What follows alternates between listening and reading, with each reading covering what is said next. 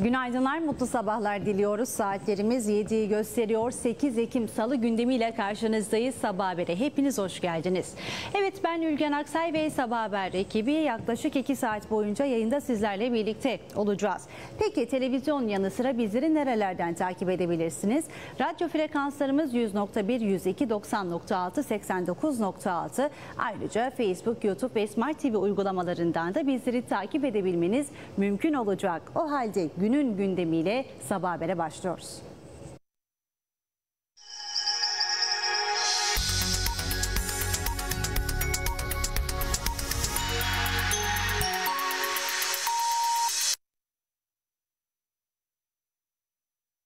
Evet 8 Ekim Salı gündemini aktarıyoruz demiştik. Bugün sabah saatler 9.30'u gösterdiğinde 1-31 Ekim Meme Kanser Bilinçlendirme ve Farkındalık Ayı çerçevesinde Kanser Hastalarına Yardım Derneği organizasyonuyla Bayrak Radyo Televizyon Kurumu sitesinden start alacak bisiklet maratonu yapılıp gün dolayısıyla BRT'de etkinlik de düzenlenecek.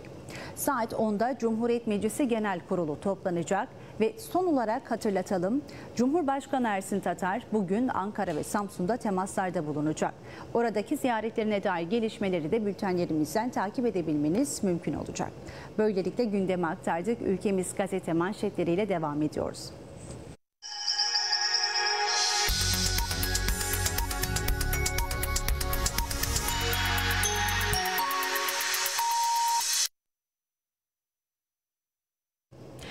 Kıbrıs gazetesi bugün ülkemiz basınındaki ilk gazete olacak ve manşetine ise dün başkanlık divanını belirlemek için toplanan Meclis Genel Kurulu'nun e, başkanını belirleyememesinden dolayı vatandaşların yapmış olduğu eleştirilere yer veriyor. Pahalılığa çare bulun başlığıyla vatandaşlar meclisin krizlere değil icraatlarla anılmasını istiyor. Kıbrıs muhabiri vatandaşa mikrofon uzattı ve meclisten beklentilerini sordu diyor Kıbrıs gazetesi. Detaylara az sonra bakacağız. Sürmanşete baktığımız zamansa az önce de ifade etmiş olduğum gibi dün başkanlık divanını belirlemek için toplanan Meclis Genel Kurulu'na dair detaylar paylaşıldı. Meclis Genel Kurulu başkanlık divanını belirlemek üzere toplandı. Ancak gün boyu süren oylamalara rağmen başkan seçilemedi. Oylama bugüne ertelendi. Mecliste başkanlık krizi başlığıyla detaylar bir fotoğraf karesiyle paylaşıldı. Logonun hemen yanındayız. Hakların Korunması İnisiyatifi Rum hükümetinin emlak sektörünü çökertmek amaçlı saldırılarına dikkat çekmek için Metehan sınır kapısında eylem düzenleyeceği haberi var. Önemli gündem başlıklarından biri birçok gazete ön sayfadan aktarıyor.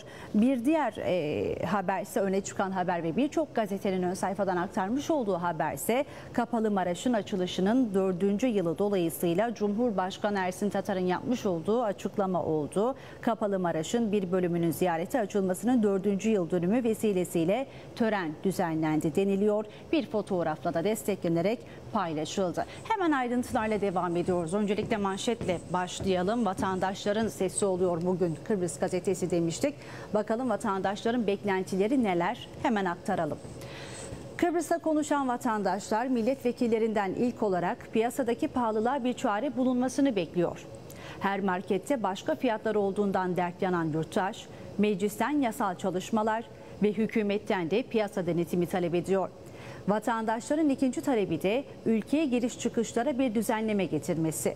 Ülke nüfusundaki artıştan şikayet eden yurttaş, her isteyenin ülkeye rahatça girebilmesinden duyduğu rahatsızlığı dile getiriyor. Yurttaş ülkeye girişte kriterler istiyor. Ve Kıbrıs gazetesi vatandaşların açıklamalarını ve yorumlarını iç sayfadan daha kapsamlı bir şekilde paylaştı. Evet sürmanşetteyiz. Düne dönelim ve Meclis Genel Kurulu'ndaki detayları sizlerle paylaşalım. Az önce de ifade ettiğim gibi başkanlık divanını belirlemek üzere meclis e, toplanmıştı. Mecliste başkanlık krizi başlığıyla da detayları sizlere aktarıyoruz. UBP Meclis Grubu dün sabah Zorlu Töre ve Faiz Sucuoğlu arasında tercihini yaptı ve Töre'yi yeniden Cumhuriyet Meclisi Başkanlığı'na aday gösterdi.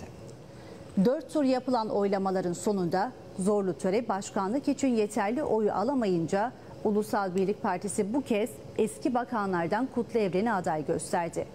Yapılan oylamada Evren'in başkanlığı için 22 kabul, 26 red oyu çıkınca oturuma uzun süre ara verildi ve ilerleyen saatlerde oylamanın bugün saat 10'da yapılmasına karar verildi. Kutlu Evren'in başkanlık için yeterli oy alamamasının ardından verilen arada toplanan Ulusal Birlik Partisi grubunda UBP Genel Başkanı Ünal Üstel'in milletvekilleriyle ciddi bir konuşma yaptığı öğrenildi. Gazetenin elde ettiği bilgilere göre UBP bugün Cumhuriyet Meclisi Başkanlığı için yeniden Kutlu Evren'i aday göstereceği ifade ediliyor. Evet logonun hemen yanındayız. Barış içinde kalkınma istiyoruz ifadesiyle hakların korunması inisiyatifinin yapmış olduğu açıklama paylaşılıyor. İç sayfadan detaylı bir şekilde aktarılırken ön sayfadansa inisiyatifin Rum hükümetinin emlak sektörünü çökertmek amaçlı saldırılarına dikkat çekmek için Metehan sınır kapısında eylem düzenleyici haberini aktarıyor okurları için. Evet ön sayfadan aktarılan bir diğer haberle devam edelim. Kapalı Maraş'ın açılışının dördüncü yılı dolayısıyla e, Cumhurbaşkanı Ersin Tatar'ın yapmış olduğu açıklama var. 4 yılda 2 milyon 200 bin ziyaretçi vurgusuyla paylaşıldı. Geçiş noktasında düzenlenen törende konuşan Cumhurbaşkanı Tatar, bir iç hukuk yolu olarak kabul edilen taşınmaz mal komisyonu aracılığıyla Kapalı Maraş'la ilgili mal mülk sorununun çözüme kavuşturulmasını istediklerini söyledi. Ve ön sayfadan aktarılan son haberdeyiz. Denetimlere dair e, polisin raporunu paylaşıyor gazete. Polis Genel Müdürlüğü bu yılki ölümlü kazalara ilişkin istatistiki bilgiler paylaştı. 35 kazada 36 kişi yaşamını yitirdi. Sürat ilk sırada başlığıyla ölümle sonuçlanan 19 trafik kazasına sürat neden oldu. 8 ölümlü kaza ise alkollü şoförlerden kaynaklandı. En çok ölümlü kaza Gazi Mausa sınırları içerisinde meydana geldiği de ifade edildi. Evet Kıbrıs gazetesini tamamladık. Yeni Düzen gazetesiyle devam edelim. Bugünün en önemli gündem başlığı olarak nitelendirdiğimiz dünkü Meclis Genel Kurulu'nda e, başkanın henüz daha seçilmemesine yönelik Yeni Düzen gazetesinin de eleştirileri manşetten paylaşılıyor. Bu film bitti başlığıyla CTP lideri Tufan Erhürman'ın da açıklamaları detaylarda aktarılıyor. Kısaca paylaşalım. 29 milletvekili desteği bulunan UBP hükümeti bir meclis başkanı seçemedi. Kendi içinde yaşadığı iç çekişmeler nedeniyle defalarca denemesine rağmen çoğunluk elde edemedi diyor yeni düzen. Hemen detayları aktarmaya başlıyoruz. Faiz Sucuoğlu terk etti alt başlığı kullanılıyor. Ulusal Birlik Partisi meclis grubundaki oylamada meclis başkanlığına aday olan Zorlu Töre 13, Faiz Sucuoğlu 10 oy aldı. Faiz Sucuoğlu bu gelişme üzerine bir daha gelmem diyerek meclisi terk etti. Zorlu Töre'ye 4 turda onay yok. Bir diğer alt başlık Zorlu Töre Ulusal Birlik Partisi adayı olarak genel kurulda girdiği 4 oylamada yeter sayıya ulaşamadı. Zorlu Töre'nin 4 oylamada başkan seçilememesi üzerine 5. tur oylamaya geçilmedi. Kutlu Evren'e 26 red, siyasi kriz bir diğer alt başlıklar. Bu gelişme üzerine Kutlu Evren'i aday yapan Ulusal Birlik Partisi bu kez Zorlu Töre'den de daha az oy aldı. Destek 22'de kaldı. Evren'in 26 red oy alması seçimi düşürdü. Sabahtan akşama kadar meclis başkanını seçecek çoğunluk arayan hükümet siyasi kriz içinde kilitlendi. Evet bu konuyla ilişkili CTP lideri e, Tufan Erhürman'ın da ifadeleri var. Özellikle vurgulanan ifadesi ise hükümet meşruiyetini kaybetti, irade yenilenmeli ifadesi oldu. Yaşanan gelişmeler üzerine mecliste basına açıklama yapan CTP Genel Başkanı Tufan Erhürman, bu film bitti. Yapılması gereken şey iradenin sahibine geri dönüp onun kararını almaktır dedi. Siyasi krizden çıkışın seçimle mümkün olacağını ifade ediyor. Açıklamasının detayları ise iç sayfadan paylaşıldı. Ve bu konuyla ilişkili paylaşılan bir diğer alt başlıktayız. Hükümet meclisi kapatmadan kaçtı, genel kurul askıda kaldı deniliyor. Ünal Üstel önce krizi çözmek için 10 dakika ara istedi. Yaklaşık 4 saat sonra genel kurul toplantısını kapatmadan meclisi ortaklarıyla terk etti. Meclis Danışma Kurulu'nu toplayıp Kutlu Evren'i bir kez daha oylatmak isteyen Ünal Üstel bu kez de zorlu töre engeline takıldı denildi ve detaylar Yeni Düzen gazetesinin manşetinden ayrıntılı bir şekilde paylaşıldı. Evet Diyalog gazetesiyle devam edelim. Yine aynı konuyla ilişkili bir manşet görüyoruz. Tam bir kaos başlığı kullanılıyor. UBP içindeki kurultay hesaplaşmalarının bir sonucu olarak Meclis Başkanı 5 tur oylamada seçilemedi. Muhalefetten erken seçim çağrısı geldi denildi. 3 ayrı alt başlık görüyoruz bu konuyla ilişkili paylaşılan. Törenin oyları 23'ü aşamadı. Evren 26 hayır oyu aldı. Seçim bugüne kaldı. Muhalefetten erken seçim çağrısı yapıldığı da yine ön sayfadan manşetten paylaşıldı. Evet ön sayfadan aktarılan iki ayrı polisiye haber görüyoruz. Sahte vekaletname ile bir şirkete ait araziyi 550 bin sterline satan Enver Yücel'in aynı yöntemle Gönyeli'deki bir evden 50 bin sterlin aldığı tespit edildiği aktarılıyor. Ee, yine Güney Kıbrıs ve Kuzey Kıbrıs'ta yaşanan kazalara ilişkin bir haber var. Kısa bir spot paylaşıldı. Güney Kıbrıs'ta ve Kuzey Kıbrıs'ta yaşanan kazaları kıyaslıyor diyalog.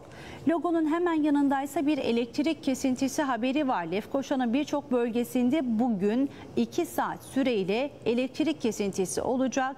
Trafo bakımı nedeniyle olacak bu elektrik kesintisi. Okurları için bu haberi de ön sayfadan aktarıyor Diyalog gazetesi. Hemen manşetin ayrıntılarına bakalım. Bugünün en önemli gündem başlığı dediğimiz dünkü meclise dair detaylar var. Seçime dair detaylar paylaşıldı. Hemen aktaralım sizlere. Uzun yaz tatilinin ardından ikinci toplantısını gerçekleştiren Cumhuriyet Meclisi'nin dünkü gündeminde meclis başkanlığı seçimi vardı. Ulusal Birlik Partisi'nden Faiz Sucuoğlu'yla zorlu töre aday gösterilince parti meclis grubu oy- oylama yaptı. Yeterli oyu alamayan Sucuoğlu tepkili bir vaziyette meclisi terk etti. Daha sonra töre tek aday olarak seçime girdi.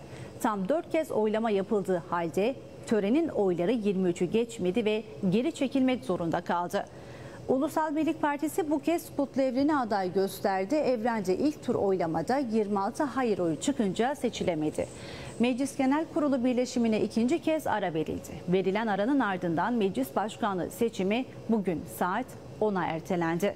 Ulusal Birlik Partisi'nin koalisyon ortakları ile birlikte toplam 29 milletvekili olmasına karşın adaylardan herhangi birinin 26 destek oyu alamaması üzerine ülkenin tam bir kaos ortamına sürüklendiğini belirten muhalefet partilerinden erken seçim çağrısı geldi. Bu arada Ulusal Birlik Partisi'nde yaşananların kurultay hesaplaşmasından kaynaklandığı da belirtiliyor. Ve Diyalog gazetesi ayrıntılı şekilde manşetten bu haberi işliyor. Evet polisiye haberlerle devam ediyoruz. Değirmenlik köyünde çiftlik baskını ve tehdit konusunda zanlılardan birinin ses kaydına ulaşıldı denildi. 40 milyon haraç başlığıyla bu olay iç sayfadan detaylı olarak aktarıldı. Bir diğer polisiye olayda ise sahte vekaletname ile bir şirkete ait araziyi 550 bin sterline satan Enver Yücel'in aynı yöntemle Göngeli'deki bir evden 50 bin sterlin aldığı tespit edildi. Rakam büyüdü başlığıyla bu haber spot haber olarak aktarıldı. Evet ön sayfadan aktarılan son haberdeyiz. Güney Kıbrıs'ta bu yılın ilk 9 ayında meydana gelen kazalarda 29, kuzeyde ise 36 can kaybı yaşandı. Rekor bizde başlığıyla bu spotta paylaşılıyor. Evet son olarak bizler de hatırlatmış olalım. Diyalog gazetesi paylaşıyor. Lefkoşa'nın birçok bölgesinde bugün 2 saat süreyle elektrik kesintisi olacak. Nedeni ise trafo bakım olarak aktarıldı. Böylelikle Diyalog gazetesini tamamladık. Halkın sesiyle devam ediyoruz. Halkın Sesi gazetesi de bugünkü manşetine kurultay intikamı başlığını kullanarak dünkü meclise dair detayları aktardı. Ulusal Birlik Partisi'ndeki muhalifler 15 gün önce kurultaydan %65'lik destekle çıkan Üstel'in meclis başkanlığı için söz verdiği Sucuoğlu'nu aday yaptırmadı. Önce töreye sonra evrene meclis başkanlığı seçimini kazandıramadı diyor halkın sesi ve detaylı olarak e, ayrıntıları paylaştı. Sür manşete baktığımız zamansa Çatalköy Sanayi'de dün çıkan yangına ilişkin görselleri görüyoruz. Otomobil parçaları kül oldu denildi. Detaylar iç sayfadan paylaşılıyor ve son olarak bir spot haber aktarıldı. Metehan'da eyleme gidiliyor. Hakların Korunması İnisiyatifi Rum yönetiminin Kuzey Kıbrıs Türk Cumhuriyeti'ndeki emlak sektörünü çökertmek amaçlı yaptığı uygulamaları 14 Ekim pazartesi günü Lefkoşa Lefkoşa'da metan geçiş kapısı önünde protesto ediyor ve detaylı olarak açıklamasını da aktarıyor. Hemen ayrıntılarla devam edelim. Manşetle başlayalım. Meclis başkanlığı seçimleri kaosa dönüştü. 29 vekile sahip hükümet meclis başkanını seçemedi. Ulusal Birlik Partisi grubunda 10 oy alan Faiz Sucuoğlu'nu geride bırakan Zorlu Töre 13 oyla başkanlığa yeniden aday gösterildi. Bunun üzerine Sucuoğlu meclisi terk etti. Ancak mecliste yapılan oylamada töre 4 tur boyunca salt çoğunluğu sağlayamadı. Zorlu töreyi 5. turda adaylıktan çeken Ulusal Birlik Partisi Kutlu Evren'i meclis başkanı olarak aday gösterdi. Fakat Evren de ilk turda seçilemedi. Kutlu Evren ilk oylamada 26 red alınca oturuma üçüncü kez ara verildi. Ulusal Birlik Partisi içinde dün gece geç saatlere kadar mecliste yapılan toplantıda karar çıkmadı ve meclis başkanlığı yarışı sonuçsuz kaldı. Seçim bugün saat 10'a ertelenirken ülke siyasetinde bir ilk olarak yaşanan bu olaylar tam bir rezalet olarak yorumlandı. CTP lideri Erhürman ortada yöneten ya da yönetme gailesi olan bir yapı olmadığını belirtti ve yapılması gerekenin bir an önce seçime gitmek olduğunu ifade ederek halktan bu yaşananları unutmamasını istedi. Erhürman'ın yapmış olduğu bu açıklamalar iç sayfadan daha detaylı olarak paylaşıldı. Evet Metehan'da eyleme gidiliyor. Birçok gazetenin ön sayfadan paylaşmış olduğu bir haber. Mülkiyet konusuyla ilişkili bir eylem olduğunu aktaralım. Hakların Korunması İnisiyatifi Rum yönetiminin Kuzey Kıbrıs Türk Cumhuriyeti'ndeki emlak sektörünü çökertmek amaçlı yaptığı uygulamaları 14 Ekim pazartesi günü Lefkoşa'da Metehan geçiş kapısı önünde protesto ediyor. Daha önce Londra, Brüksel ve Strasbourg'da basın toplantısı ve çeşitli görüşmeler yaparak konuyu dünya kamuoyunun gündemine taşıyan Hakların Korunması İnisiyatifi bu kez Metehan'da yapacağı eylemde BM ve AB yetkililerine mektup ileteceği de ifade edildi. Ve son olarak sürmanşette az önce de ifade ettiğimiz gibi Çatalköy sanayide çıkan yangına işaret ediyor. Otomobil parçalarının kül olduğu fotoğraflardan paylaşıldı. Çatalköy'de bir araç parça deposunda çıkan yangın büyük zarara yol açtı notuyla görselleri büyük bir fotoğrafla paylaşıyor. Halkın sesini tamamladık. Özgür Gazete ile devam edelim. Yine bugünün en önemli gündem başlığı olan dünkü meclise dair detayları Özgür Gazete'de ön sayfadan paylaşıyor. Eleştiril, eleştirel bir dille aktarıyor. Ulusal Birlik Partisi'nin büyük ortağı olduğu koalisyon hükümeti kendi içindeki koltuk sevdası yüzünden meclis başkanını bile seçemedi diyor Özgür Gazete. Bu film bitti hemen erken seçim başlığı da bu ifadede CTP lideri Erhürman Kamal'ın ifadesi. Başlığında bu ifadeyi vurguladı Özgür Gazete ve 3 ayrı alt başlık görüyoruz. Yine tö Yine töre, yine kriz, sıfırdan seçim bunları unutmayın. Alt başlıkları kullanıldı. Hemen detaylara bakalım. Gazete bu haberi nasıl yansıtıyor? Detaylarında CTP lideri Erhürman'ın da açıklamaları yer buluyor. Ulusal Birlik Partisi Meclis Başkanlığı için 2022'de 5. turda zorla seçtirilen Zorlu Töre'yi dün bir kez daha aday gösterdi. Töre 4. turda da seçtirilemeyince adaylığı geri çekilip Kutlu Evren yeni aday olarak sunuldu ancak Evren de 1. turda 26 retoyu aldı ve seçilemedi. Meclis iş tüzüğüne göre 5 tur yapıldığı için Evren ikinci tur yapılamıyor. Özgür Gazete'nin iddialarına göre UBP yeniden danışma kurulunu toplayıp sıfırdan seçim kararı aldırmaya çalıştı. Ancak gazete basıma girene kadar kurul toplanamadı. Bu sırada mecliste basına konuşan CTP Genel Başkanı Tufan Erhürman da bu durumu rezillik olarak niteledi ve bu film bitti. Konuşacak çok fazla şey kalmadı. Yapılacak tek şey erken seçime gitmektir. Halktan beklentim burada yaşananları unutmayın dedi. Erhürman ayrıca 29 vekil bir meclis başkanını seçemedi. Peki bütçede ne olacak? İki ay sonra bütçe var. Bölgede savaş var, ülkede ekonomik kriz var. Alın size ciddiyet, sorumluluk budur. Bu halkın daha fazla bu maskaralığı çekmek zorunluluğu yoktur ifadesini kullandı ve bu konuyla ilgili eleştirileri de Özgür Gazete'nin ön sayfasından aktarıldı. Evet Güneş Gazetesi ile devam edelim. Güneş Gazetesi ise bugün manşetine Kapalı Maraş'ın açılmasının dördüncü yılına dair Cumhurbaşkanı Ersin Tatar'ın yapmış olduğu açıklamalara yer veriyor. Maraş insanlığa kazandırılmalı başlığıyla bu ifade öne çıktı. Kapalı Maraş'ın bir bölümünün ziyarete açılmasının dördüncü yıl dönümü vesilesiyle tören düzenlendi ve törende Cumhurbaşkanı'nın yapmış olduğu açıklamalar yer buldu. Taşınmaz Mal Komisyonu aracılığıyla çözüm, Maraş'ın Kuzey Kıbrıs Türk Cumhuriyeti sınırları içinde olduğu bir gerçek alt başlıkları kullanılıyor. Detaylara az sonra bakacağız. Evet ön sayfadan aktarılan bir diğer haberdeyiz. Türkiye'nin Lefkoşa Büyükelçisi Yasin Ekrem Selim'in açıklamaları var. TOKİ her türlü işbirliğine hazır başlığıyla detaylar aktarıldı. Toplu Konut İdaresi Başkanı Mustafa Levent Sungur ve heyetini Büyükelçilikte ağırlıyor e, Yasin Ekrem Serim ve görüşmeye dair detayları da Güneş Gazetesi ön sayfadan paylaşıyor.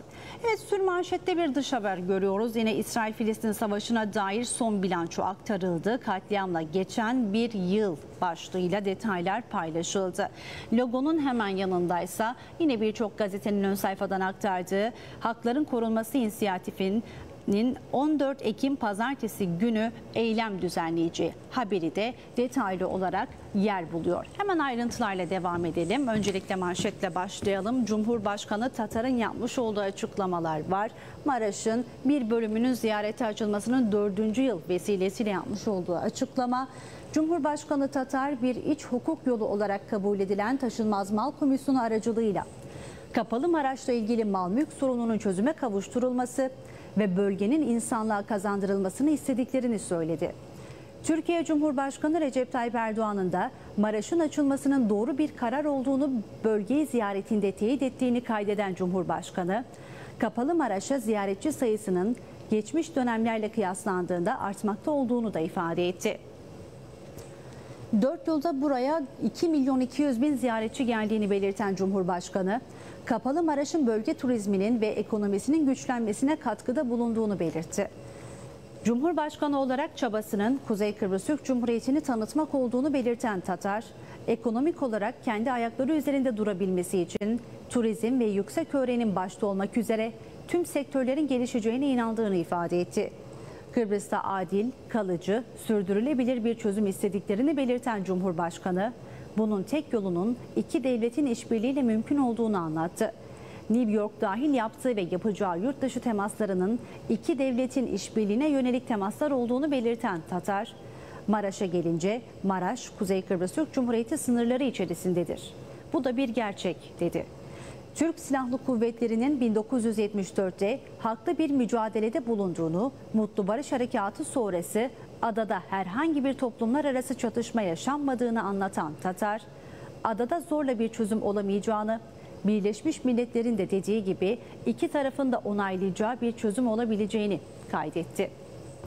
Evet Cumhurbaşkanı'nın açıklamaları bu şekilde paylaşılıyor ve Güneş Gazetesi'nin sür manşetiyle devam edelim. Bir dış haber aktarıyor dedik. İsrail-Filistin Savaşı'na dair bir yılda yaşananları bir fotoğraf karesiyle de özetliyor. Acı, yıkım, ölüm kelimelerini kullandı vurgulamak için Gazze'deki soykırımın birinci yılı geride kaldı. Bir yıl içinde İsrail ordusu yaklaşık 42 bin Filistinliyi öldürdü.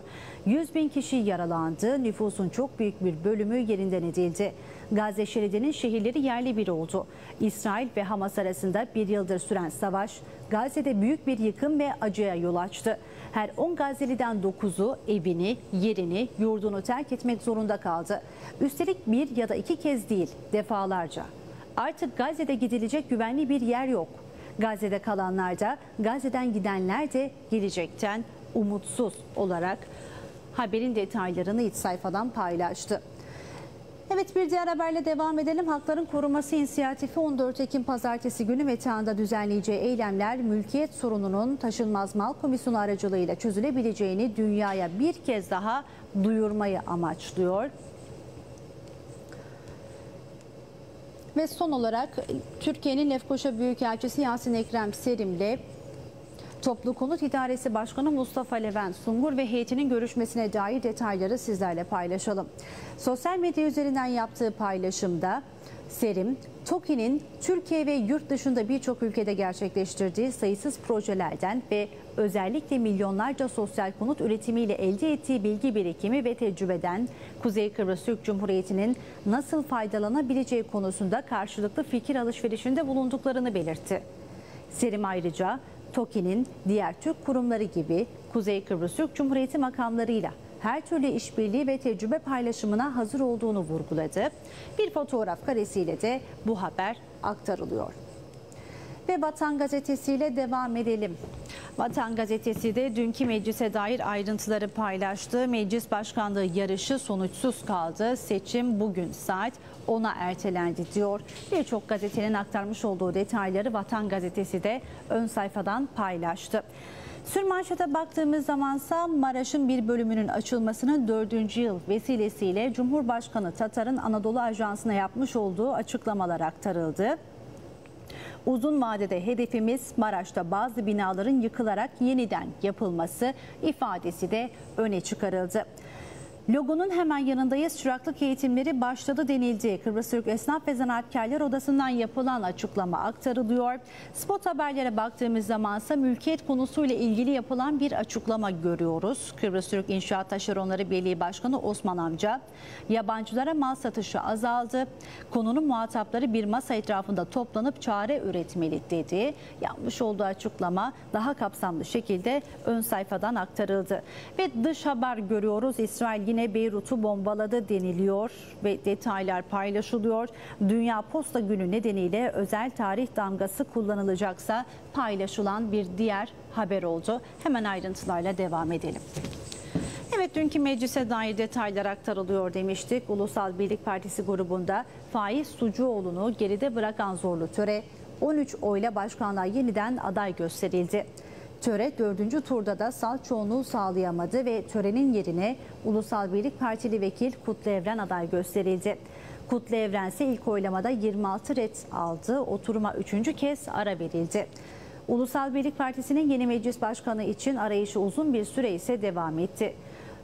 UBP'de Cumhuriyet Meclisi Başkan adayı krizi yaşandı. Ulusal Birlik Partisi Meclis Grubu'nun yaptığı toplantıda Zorlu Töre ile Faiz Sucuoğlu arasında kim aday gösterilsin oylamasını 13'e 10 Zorlu Töre kazandı.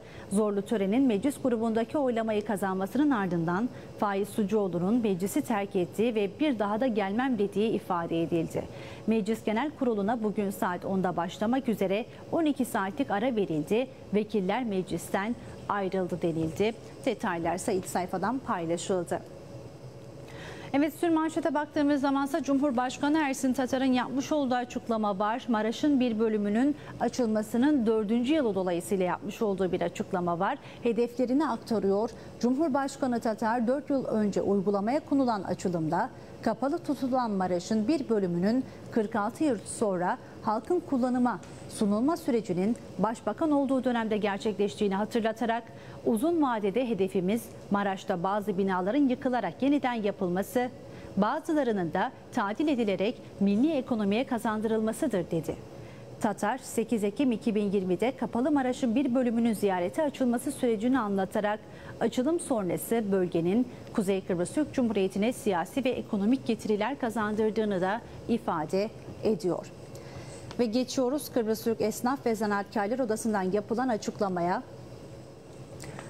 Kıbrıs Türk Esnaf ve Zanaatkarlar Odası Taner Akcan Çıraklık ve Yetişkin Eğitim Merkezi'nde yeni dönem açılışı yapıldı. Kıbrıs Türk Esnaf ve Zanaatkarlar Odası'ndan yapılan açıklamaya göre, göre ise okulda bu yıl artan öğrenci sayısına bağlı olarak 3 öğretmen daha eğitimci kadrosuna dahil edildi. 650 öğrenci sayısına ulaşan Taner Akcan Çıraklık Okulu kurulduğu 2009 yılından bu yana tam gün olarak saat 15.30'a kadar faaliyetlerini sürdürüyor. Ve spot haberlerdeyiz. Kıbrıs Türk İnşaat Taşeronları Birliği Başkanı Osman Amca'nın mülkiyet konusuyla ilişkili yapmış olduğu açıklamayla devam ediyoruz. Osman Amca, Güney Kıbrıs'ta inşaatla ilgili yapılan tutuklamaların sektörde durgunluğa ve gerilemeye neden olduğunu, yabancılara mal satışının azaldığını söyleyerek konunun muhatapları bir masa etrafında toplanıp çare üretmeli ifadesini kullandı. Ve bir spot haber görüyoruz. Silahlı tehdit olayında ses kaydı tespit edildi. 40 milyon haraç vereceksin ifadesi öne çıkıyor. Bu olayı detaylı olarak iç sayfadan paylaşıyor. Ve Dünya Posta Günü nedeniyle özel tarih damgası kullanılacak denildi. Dünya Posta Günü nedeniyle 9 Ekim'de posta merkezlerinde giden ve gelen gönderilerde özel tarih damgası kullanılacak. Ve son olarak bir dış haber aktaralım. İsrail yine Beyrut'u bombaladı. İsrail ordusunun Lübnan'ın başkenti Beyrut'a günlerdir düzenlediği hava saldırıları artarak devam ediyor. Lübnan'ın başkenti Beyrut'u hedef alan saldırılar düzenlendi. Havalimanına yakın birçok bölgeden bombardıman sonrası alevler yükseldi. Yine bu dış haberinde detayları iç sayfadan paylaşılıyor bugün Vatan gazetesinde. Yeni Bakış gazetesiyle devam edelim. Yeni Bakış gazetesi ise bugün mülkiyet konusuyla ilişkili bir manşet paylaşıyor. 38 yabancı emlakçıya tutuklama kararı çıkarıldığı ifade edildi detaylarında. Rum polisinin 38 yabancı emlakçıya daha tutuklama kararı çıkardığı öğrenildi başlığıyla da detaylar aktarıldı. Konuya ilişkin bir açıklama görüyoruz. Kıbrıs Türk İnşaat Taşeronları Birliği Başkanı Osman Amca'nın bu konuyla ilgili yapmış olduğu açıklaması da ayrıntılarda aktarıldı. Sürmanşete baktığımız zamansa yine bu konuyla ilişkili bir iş insanının açıklaması var. İş insanı Yusuf Kısa Rum tarafında yaşanan tutuklamalarla ilgili yaptığı açıklamada inşaat ve emlak sektörünün çökmüş durumda olduğunu belirterek taşınmaz mal komisyonunda hızlıca tüzük değişikliği yapılması gerektiğini ifade ediyor. Taşınmaz mal komisyonunda tüzük değişikliği şart vurgusu da yine başlıkta yeniden vurgulandı. Yine dünkü meclise dair ayrıntılar var. Mecliste başkanlık krizi başlığıyla yine tüm gazetelerin ön sayfadan aktarmış olduğu detayları yeni bakışta ön sayfadan bir fotoğrafla destekleyerek paylaşıyor. Hemen ayrıntılarla devam edelim. Avukat Akan Kürşat'ın Rum arazilerini sattığı gerekçesiyle İtalya'da gözaltına alınmasıyla başlayan süreç devam ediyor. İtalya'da tutuklanan ve Güney Kıbrıs'a iade edilen avukat Akan Kürşat'ın davasında takipsizlik kararı verilse de Kürşat'ın ardından 5 kişi Kuzey Kıbrıs Türk Cumhuriyeti'nde emlakçılık yaptığı gerekçesiyle tutuklandı. Rum polisinin 38 yabancı emlakçıya daha tutuklama kararı çıkardığı öğrenilirken kuzeyde yabancılara mal satışının azaldığı ifade ediliyor.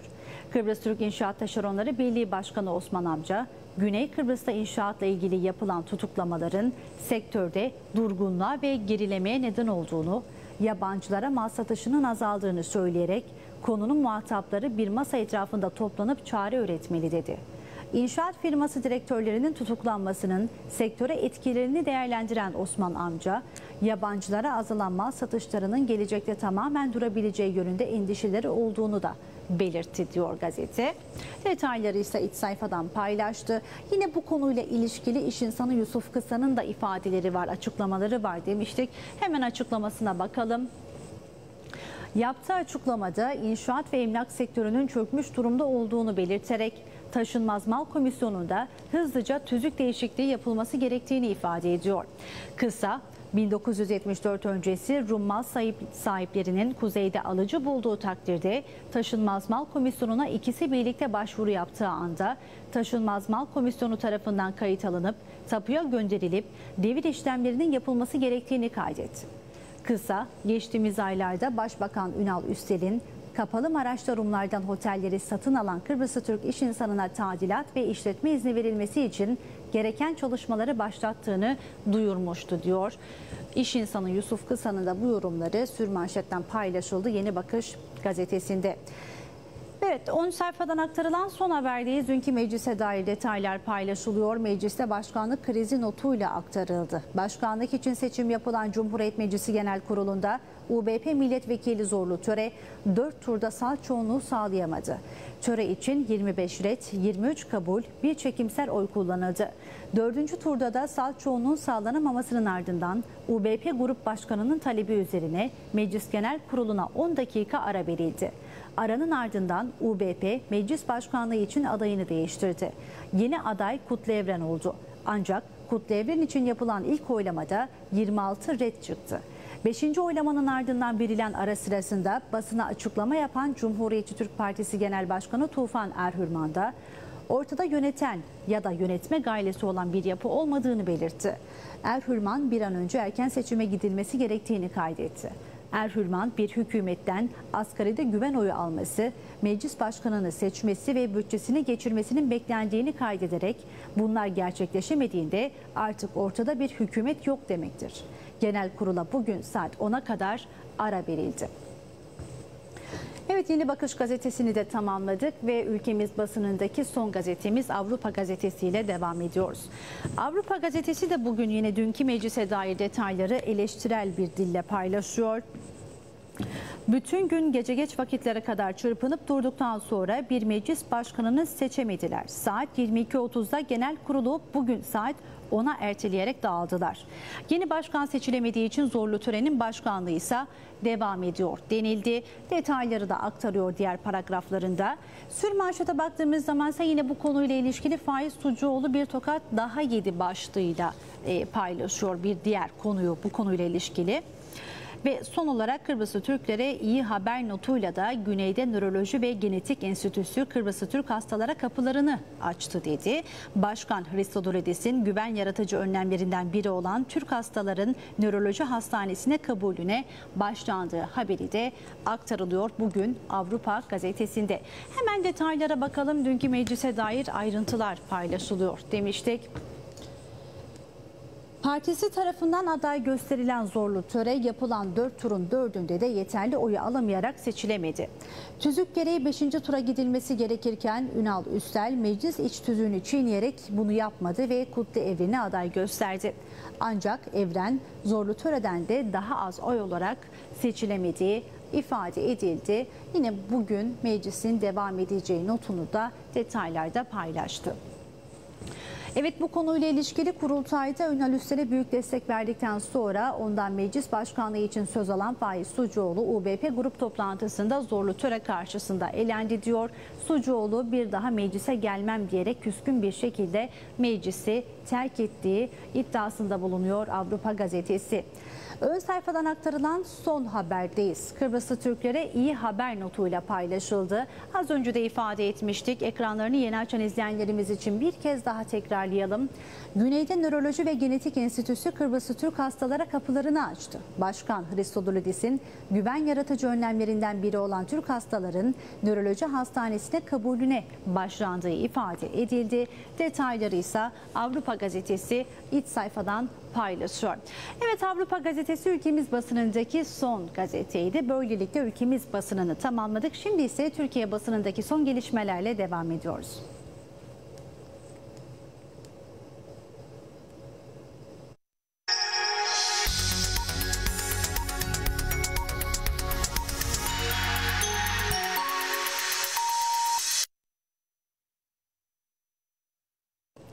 Evet Cumhuriyet Gazetesi bugün Türkiye basınındaki ilk gazete olacak. Diyarbakır'da cihat çağrısı Hizbullah'ın medrese yapılanmasının etkinliğinde kılıç şart vurgusu yapıldı deniliyor.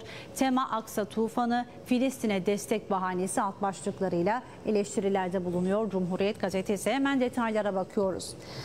Eski Hizbullah İran sorumlusunun başkanlığını yaptığı Alimler ve Medreseler Birliği Aksa Tufanı Harekatı temasıyla Diyarbakır'da alimler buluşması düzenledi. İslam dininin sadece cihatla yayılabileceğini öne süren konuşmacılar, İslam dini kılıç kullanılmazsa esaslarını başka yerlere ulaştırmayacaktır dedi. Sonuç bildirgesi Türkçe, Arapça ve Kürtçe olarak yayımlandı. Bildiride Aksa Tufanı, İslam tarihi boyunca devam eden kutsal cihat sırasının bugün yürütülen halidir.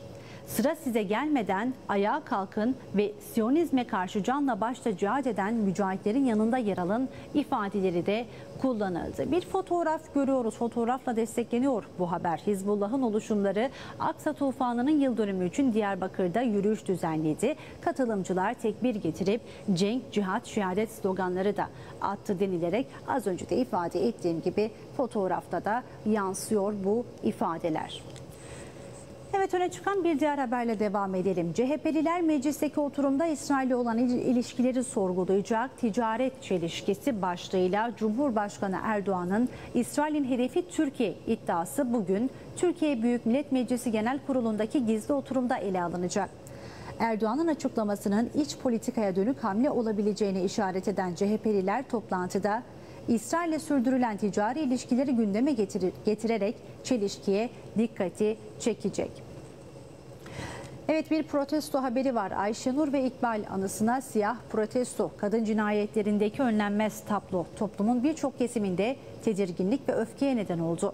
Birçok okulda lise ve üniversite öğrencileri protesto için siyah kıyafet giydi. Polis engellemesiyle karşılaşan bir lise öğrencisi 3 otobüs neden burada? Hükümete laf söylemeyecek miyiz diye isyan ettiği aktarıldı. Yine fotoğrafın altındaki notu da sizlerle paylaşalım. Öğrenciler adaletin sağlanması ve toplumsal çöküşün durdurulması çağrısı yaptı diyerek ellerindeki pankartın da görselleri ön sayfadan paylaşılıyor. Evet Milliyet gazetesiyle devam ediyoruz. Milliyet gazetesi ise bugün manşetine Almanya'dan dev silah paketi iddiası var. Yeniden müttefik başlığıyla bir iddiayı bugün detaylı olarak iki ayrı alt başlık halinde paylaştı. Türkiye'ye karşı örtülü silah ambargosu tartışılan Almanya'nın 336 milyon euroluk silah paketi satışına yeşil ışık yaktığı öne sürülüyor. 336 milyonluk paket Eurofighter testi alt başlıklarıyla detaylar paylaşıldı. Detayları aktaralım sizlere. Eurofighter savaş uçakları ile ilgili yaşanan anlaşmazlık, Almanya'nın Türkiye'ye yönelik örtülü silah ihracatı ambargosunu yeniden gündeme getirirken Alman Spiegel dergisinin internet sayfasında kritik bir iddia gündeme taşındı. Koalisyon hükümetinin ve Federal Güvenlik Konseyi'nin NATO müttefikine 336 milyon euroluk paketin satışının onaylanması kararı aldığı belirtildi. Güvenlik kaynakları iddiaya ilişkin henüz söylenti ifadesini kullandı.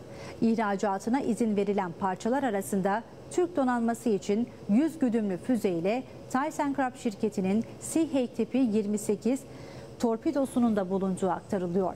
Ankara yeniden müttefiklik ilişkisi için Eurofighter uçaklarının Türkiye satışındaki Berlin'in vetosunun kalkmasını da bekliyor denildi. Fotoğrafıyla paylaşılmış. Ağırlık 1530 kilogram, uzunluk 6,6 metre, çap 53 santim, maksimum menzil ise 50 kilometre olarak görselle desteklenerek paylaşıldı. Evet Cumhurbaşkanı Erdoğan'dan 7 Ekim mesajı deniliyor. İsrail bedelini ödeyecek notuyla Erdoğan'ın bu açıklamaları paylaşıldı. Cumhurbaşkanı Erdoğan 7 Ekim 2023'te başlayan Gazze'ye yönelik İsrail saldırılarının yıl dönümü nedeniyle bir mesaj paylaştı. Erdoğan, İsrail bir yıldır uyguladığı, halen de devam etmekte olduğu bu soykırımın bedelini er ya da geç ödeyecektir. Hitler nasıl insanlığın ortak ittifakıyla durdurulduysa Netanyahu ve cinayet şebekesi de aynı şekilde durdurulacaktır ifadesini kullandı. Hitler'e benzetti notuyla bir fotoğrafla bu haber paylaşıldı. Evet İsrail'e artık dur denilmeli bir diğer alt başlıktayız. CHP MYK dün Özgür Özel Başkanlığı'nda Hatay'ın Arsuz ilçesinde toplandı. Toplantı öncesi deprem konteynerlerinde incelemelerde bulunan Özgür Özel ayrıca dokuma tezgahının başına geçerek kadınlarla birlikte kilim dokudu. MYK sonrası açıklamada İsrail'in yayılmacı politikasının durdurulması için tüm devletler üzerine düşeni yapmalı ifadesini kullandı. Evet soykırımın yıl dönümünde bombalamaya devam ediyor. Yine İsrail-Filistin savaşına dair e, gelişmelerle devam edelim. Gazete genişçe yer veriyor ön sayfada. İsrail'in soykırımının yıl dönümünde Gazze ve Lübnan'a saldırıları hız, hız kesmedi. Beyrut'un güneyindeki Dahiye bölgesine yönelik hava saldırıları önceki gece ve dün devam etti. Hamas'ın silahlı kanadı Kassam Turgayları da İsrail'in Tel Aviv kentini roketlerle hedef aldıklarını açıkladı. Tel Aviv ve çevresindeki bölgede hava saldırısı uyarısı yapan sirenlerde çaldığı e, ifade ediliyor. Evet Türkiye için önemli bir diğer gündem başlığı var. Birçok gazetenin ön sayfadan spot haber olarak aktarmış olduğu Enerji ve Tabi Kaynaklar Bakanı Alparslan Bayraktar'ın yapmış olduğu bir açıklama. Elektrik ve gaza 3 ay zam yok başlığıyla yansıtıldı. Bayraktar doğalgaz ve elektrikte desteğin bir süre daha devam edeceğini belirterek elektrik ve doğalgaza bu yıl sonuna kadar zam yok dedi.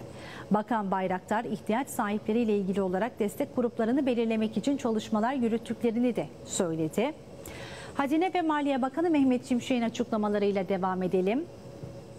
KOBİ'lere ve ihracatçılara destek sağlamak amacıyla Exim Bank ve Kalkınma Bankaları aracılığıyla bu yıl yaklaşık 2.3 milyar dolar kaynak temin ettik ettiklerini ifade ediyor. Kobiler için dev kaynak notuyla da bu haberi ön sayfadan yansıtıyor. Milliyet gazetesi. Akşam gazetesiyle devam ediyoruz. Cumhurbaşkanı Recep Tayyip Erdoğan'ın açıklamaları var. İsrail hesap vermeden huzur gelmez diyor. Soykırımın birinci yılında dünyaya mesaj notuyla Erdoğan'ın açıklamaları yansıtıldı. Bir fotoğraf karesi görüyoruz. Hemen altında da bir not paylaşıldı. Erdoğan, AK Parti Kadın Kolları tarafından oluşturulan ve İsrail vahşetini anlatan soykırımın gölgesinde geçen bir yıl sergisini gezdi diyor. Başkan Erdoğan Türkiye olarak bedeli her ne olursa olsun İsrail hükümetinin karşısında durmaya devam edeceğiz dedi. Gazze'de, Filistin'de, Lübnan'da ölen sadece kadınlar, çocuklar, bebekler, masum siviller değil, aynı zamanda insanlıktır. İnsanlığa hizmet etmesi beklenen kurumlardır, uluslararası sistemdir. İsrail soykırımın bedelini er ya da geç ödeyecek. Hitler gibi Netanyahu da insanlığın ittifakıyla durdurulacaktır soykırım hesabının sorulmadığı bir dünya huzura kavuşamaz ifadelerini kullandı yapmış olduğu açıklamada.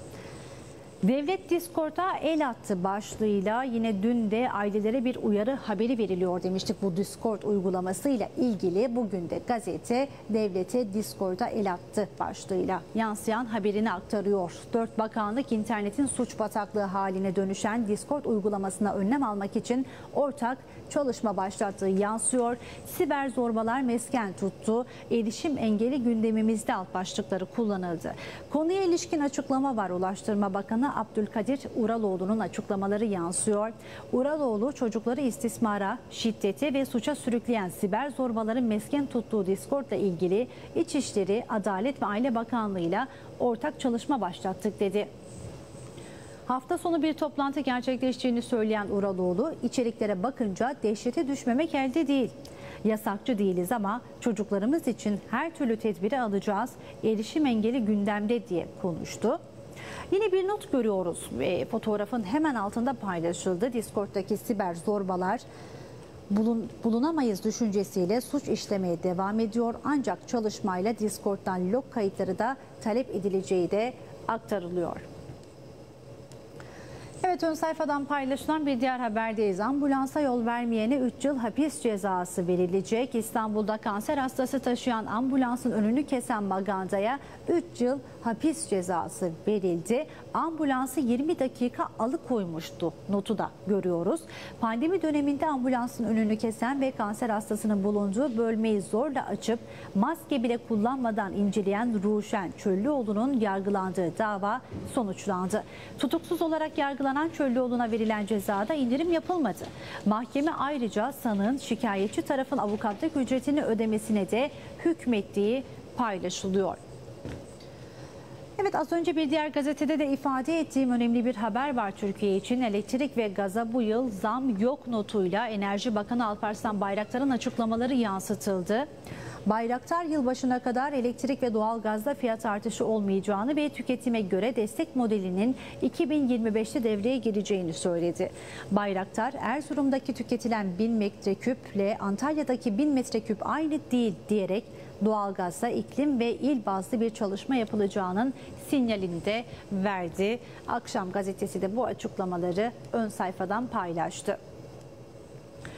Evet Türkiye gazetesiyle devam edelim. Türkiye gazetesi ise İsrail kara saldırısı için Lübnan sınırına bir tümen daha yolladı diyor gazete. Netanyahu da bu savaşın adını kıyamet savaşı olarak değiştiriyorum diyerek kanlı planını duyurdu, aktardı. Hesap sorulmadan dünyaya huzur yok başlığıyla da Erdoğan'ın yine Gazze soykırımının birinci yılına dair yapmış olduğu açıklamayı da paylaşıyor. Uluslararası sistem çöktü, bedeli ne olursa olsun alt başlıklarıyla Erdoğan'ın ifadeleri paylaşılıyor. Ekranlarını yeni açan izleyenlerimiz için bir kez daha bu ifadeleri aktaralım.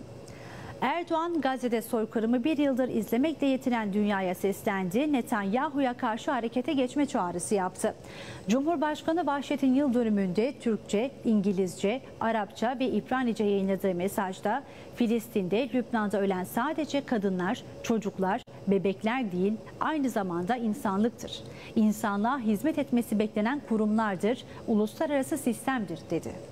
Hitler nasıl insanlığın ortak ittifakıyla durdurulduysa Netanyahu da aynı şekilde durdurulacak diyen Cumhurbaşkanı, İsrail'e hesap sorulmadan dünya huzura kavuşamayacak, bedeli her ne olursa olsun İsrail hükümetinin karşısında durmaya devam edeceğiz ifadesini de kullandı.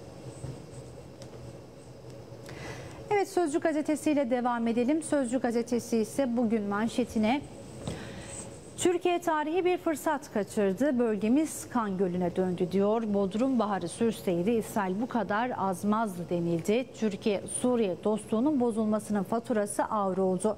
Uluslararası ilişkiler uzmanı Hasan Ünal'ın bu konuyla ilgili yapmış olduğu açıklamalar detaylı bir şekilde paylaşıldı. Hemen aktaralım sizlere. Suriye'de Beşar Esad hükümeti zayıflatılmamış olsaydı İsrail'in azgınlığı bu kadar olamazdı. Orta Doğu allak bullak edilemezdi. Maalesef burada en büyük suçlulardan biri mevcut iktidardır diyerek eleştiride bulunuyor. Dostluğu bozmanın bize faturası ağır oldu. Bugün 5 milyonu Suriye'de olmak üzere 10 milyon Suriyeliye bakıyoruz. 7-8 milyonda kaçak var. Bunun maliyeti en az 150 milyar dolar dedi Profesör Ünal'ın da açıklamaları bu şekilde aktarılıyor. Evet Sözcü gazetesini de tamamladık. Yeni Şafak gazetesiyle devam edelim. Gazze'de ölülere de yer kalmadı başlığıyla yine İsrail-Filistin savaşına dair son görüntüler, son gelişmeler detaylı bir şekilde manşetten paylaşılıyor. Terör devleti İsrail bir yıldır Amerika'nın tam desteği Avrupa ve diğer yandaşlarının da teşvikiyle Gazze'de soykırım yapıyor. Dörtte üçü çocuk ve kadın 42 bin canı şehit etti. Toplu mezara dönüşen sokaklarda yer kalmayınca stadyumlar mezarlık oldu. Pek çok aile ölülerini sokak ortalarına, evlerinin avlularına, oyun alanlarına ve hatta kaldırımlara defnetmek zorunda kaldı. 120 kadar toplu mezar oluştu. 250'den fazla cenaze Şeyh Rıdvan Mahallesi'ndeki Tevhid Stadyumuna gömüldü. Filistinliler başıboş köpeklere karşı yakınlarının mezarları başında nöbet tutuyor. Gazze'nin kuzeyini askeri bölge ilan eden İsrail, 300 bin ila 400 bin arasındaki sivili güneye sürmeyi planlarken, güneydeki nüfusu da yeniden hedef aldı. Terör devleti Han Yunus'a bağlı Beni Süheyla, El Mahat'ta, Şeyh Nasır ve Mağan'da halkı tecire zorluyor. Gazze'nin her yanında bombalar da devam ediyor ve az önce de ifade ettiğim gibi fotoğraflarla aktarılıyor. Bu haber bir diğer alt başlık görüyoruz. Hemen bir fotoğrafın altında Hamas'tan özgür olana kadar mücadele sözü denilmiş. Hamas, İsrail'in Filistin topraklarında veya dışarıda liderlerine yönelik suikastların direnişi durduramayacağını açıkladı. Başkenti Kudüs olan bağımsız Filistin devletini kurma uğruna işgale karşıya işgale karşı verdiğimiz meşru direniş devam edecek diyorlar. Evet geçiyoruz. Cumhurbaşkanı Recep Tayyip Erdoğan'ın 7 Ekim 2023'te başlayan Gazze katliamının yıl dönümünde yapmış olduğu açıklamaya yine birçok gazetede ön sayfadan paylaşmıştık. Özet, özet şekilde paylaşalım sizlere. İsrail'in uzun yıllardır süren soykırım ve işgal politikasının artık bir son bulması gerektiğini vurgulayan Erdoğan, Unutulmamalıdır ki İsrail bir yıldır uyguladığı, halen de devam etmekte olduğu bu soykırımın bedelini er ya da geç ödeyecektir. Gazze soykırımının hesabının sorulmadığı bir dünya huzura kavuşamayacaktır dedi. Ve Hürriyet gazetesiyle devam edelim. Taciz varsa Kadese Bas başlığıyla yansıyan bir haber İstanbul Beyoğlu'nda bir kadına yönelik tecavüz girişimi Kades uygulamasının önemini bir kez daha gündeme getirdi. Zor durumdaki kadının tek tuşa basmasından 5 dakika sonra polis olay yerine ulaşıyor. Yine bir not görüyoruz hemen e, başlığın altında İçişleri Bakanlığı'na ait KADES 2018'de hizmete girdi. Bugüne kadar 5 milyona yakın kadın cep telefonuna indirdi. 1 milyona yakın kadın da kadına da yardım gitti demiş. KADES yani kadın destek uygulamasını tüm kadınlar cep telefonlarına indirebiliyor. Esinden yakınından şiddet görmeyen, tehdit hissetmeyen kadınlar da kullanabiliyor. Fiili saldırı riski taşıyan, takip, taciz edilen kadınlar tek tuşla yardım isteyebiliyor. Ayrıca konum belirlemeye gerek kalmıyor. Mağdur kadından gidecek acil çağrıdan 5 dakika sonra polis ekibi olay yerine ulaşıyor. Kadına şiddetle mücadele eden yetkililer kadınlara çağrı yaptı. KADES uygulamasını cep telefonlarınıza indirin. Yakınları eşleri tarafından şiddete uğramıyor olabilirler ancak yolda yürürken işte sokakta karşılaştıkları birisi tarafından fiziksel veya sözlü şiddete tacize maruz kalabilirler. Kadesi indirin tek tuşla yanınızdayız denildi. Evet İstanbul daha güvenli olacak. Bir diğer alt başlıktayız. İçişleri Bakanı Ali Yerlikaya'nın açıklamaları yer alıyor. Yerlikaya İstanbul Emniyetini ziyaret edip son olaylarla ilgili briefing aldı. Kente yapılan güvenlik takviyeleri hakkında da bilgi verdi. Bakan tek tek açıkladı diyor gazete. 2024 yılının ilk yarısında İstanbul'da personel sayımızı yaklaşık 7 bin artırdık. Gündüz ve gece ekip sayımızı iki katına çıkardık. 2380 personel ve 174 araç daha verdik. Artan personel sayımız, gece ve gündüz ekip sayımız mahalle mahalle, sokak sokak şehirlerimizin huzur ve güvenliğini tesis etmek içindir dedi. Yapmış olduğu bu açıklamalarda Hürriyet gazetesinin ön sayfasından paylaşıldı. Evet Sabah gazetesiyle devam edelim. İsrail soykırımının soykırımın bedelini ödeyecek diyor Türkiye Cumhurbaşkanı Recep Tayyip Erdoğan. Yine birinci yıl dönümü dolayısıyla yayınlamış olduğu mesajı görüyoruz. Erdoğan Gazze'deki soykırımın yıl dönümünde sosyal medya hesabından paylaşım yaptı. İsrail'in 50 bin kişiyi şehit ettiğini vurgulayan Erdoğan, işgal politikası son bulmalıdır ifadesini kullandı. Birçok gazetede de yayınlamış olduğu bu mesajı sizlerle paylaşmıştık. Sabah gazetesi gazetesi de manşetten detaylı bir şekilde hem bu mesajı paylaşıyor hem de İsrail-Filistin savaşına dair son gelişmeleri aktarıyor.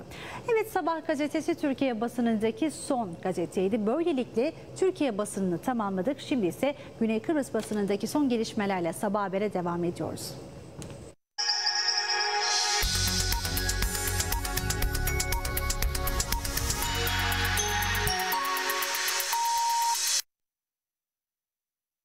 Güney Kıbrıs basınında Politis gazetesi bugün ilk gazetemiz olacak.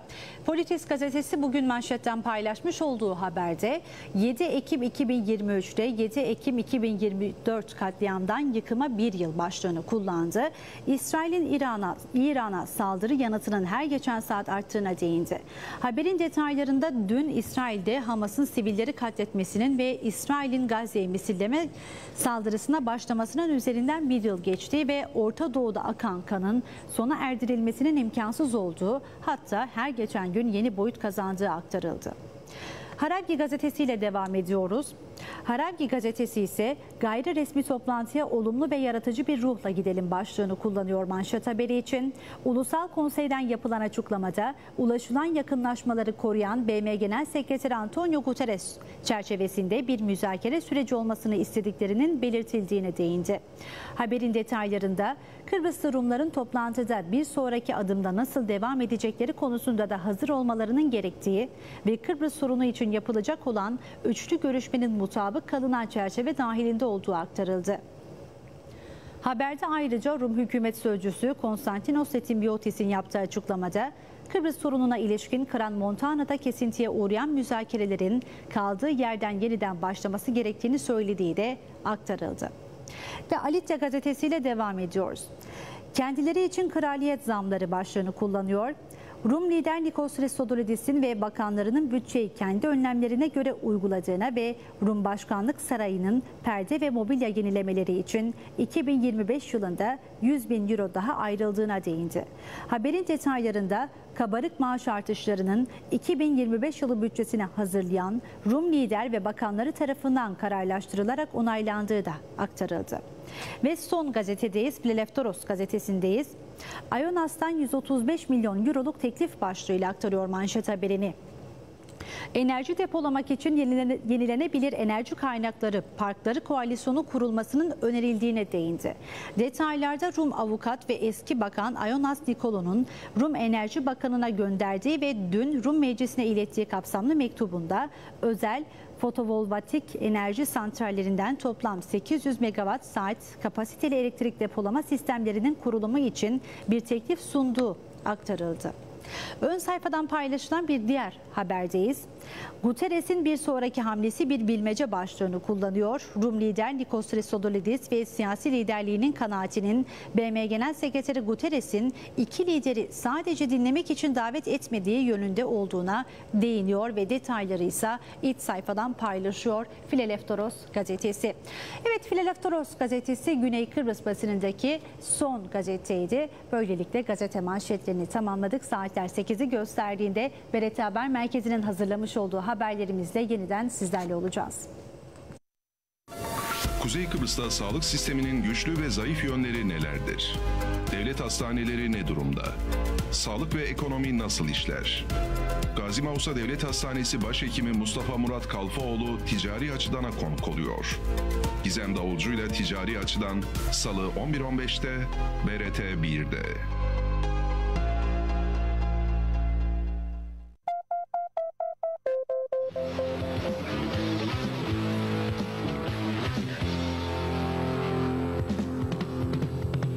Müzik gezegeninin bu haftaki konuğu eğitimci, müzisyen, besteci Cemal Özgür.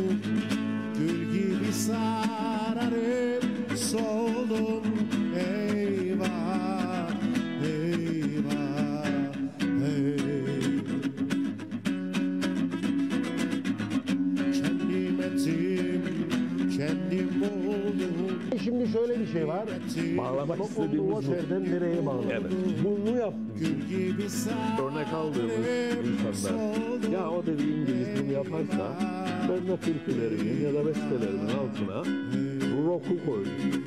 Punk rock yapayım. Klasik rock yapayım. Çünkü riffler dediğimiz olaylar bellidir. Ama türkülerle çok güzel oturur ve aksak ritimlerde de çok uyum olur.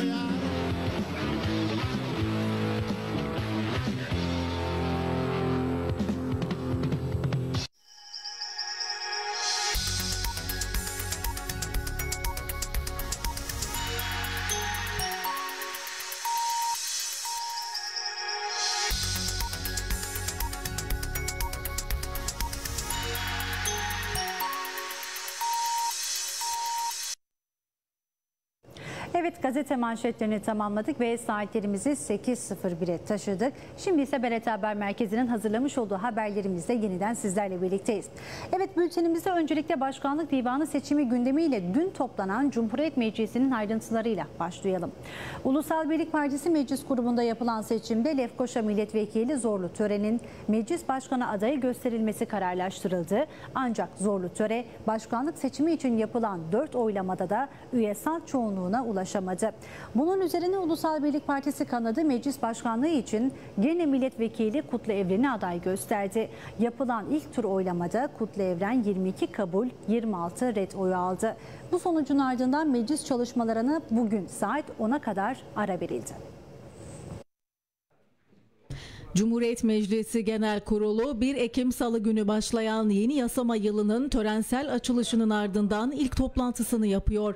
Saat 12'de başlayan genel kurulda Ekonomi, Maliye, Bütçe ve Plan Komitesi'nin Vakıflar İdaresi 2024 mali yılı ek bütçe yasa tasarısının genel kurulda 3. görüşmesine ilişkin tezkere okunarak oy birliğiyle kabul edildi. Genel kurulda daha sonra meclis başkanlığı ve başkan yardımcısı seçimlerine geçildi. Toplantı öncesinde ise Ulusal Birlik Partisi Meclis Grubu'nda yapılan seçimde Lefkoşa Milletvekili Zorlu Tören'in meclis başkanı adayı gösterilmesi kararlaştırıldı. 48 milletvekilinin oy kullandığı ilk turda Zorlu Tören'in başkanlığı için birinci oylamada 23 evet, 23 hayır ve 2 çekimser oy kullanıldı. İkinci tur oylamada ise milletvekilleri 23 kabul, 24 red ve bir çekimser oy kullandı. Üçüncü ve dördüncü tur oylamalarda ise katılım 49 olurken 23 kabul, 25 red ve bir çekimser oy kullanıldı. Bunun üzerine verilen arada Ulusal Birlik Partisi Meclis Grubu toplanarak Zorlu Töre'yi adaylıktan çekti. Yeniden toplanan Cumhuriyet Meclisi Genel Kurulu'na Cumhuriyetçi Türk Partisi Girne Milletvekili Fazilet Özdenefe başkanlık etti. Oylamaya geçilmezden önce kürsüye gelen UBP Grup Başkan Vekili Sunat Atun, UBP Meclis Grubu'nun zorlu töreyi adaylıktan çekerek meclis başkanlığı için Kutlu Evren'in aday gösterildiğini açıkladı. Ardından gerçekleştirilen oylamada Kutlu Evren de 22 kabul oyuna karşılık 26 red oyu aldı. Bu sonucun ardından meclis çalışmalarına bugün saat 10'a kadar ara verildi. Evet bu konuyla ilişkili Cumhuriyetçi Türk Partisi Genel Başkanı Tufan Erhürman'ın açıklamalarıyla devam ediyoruz.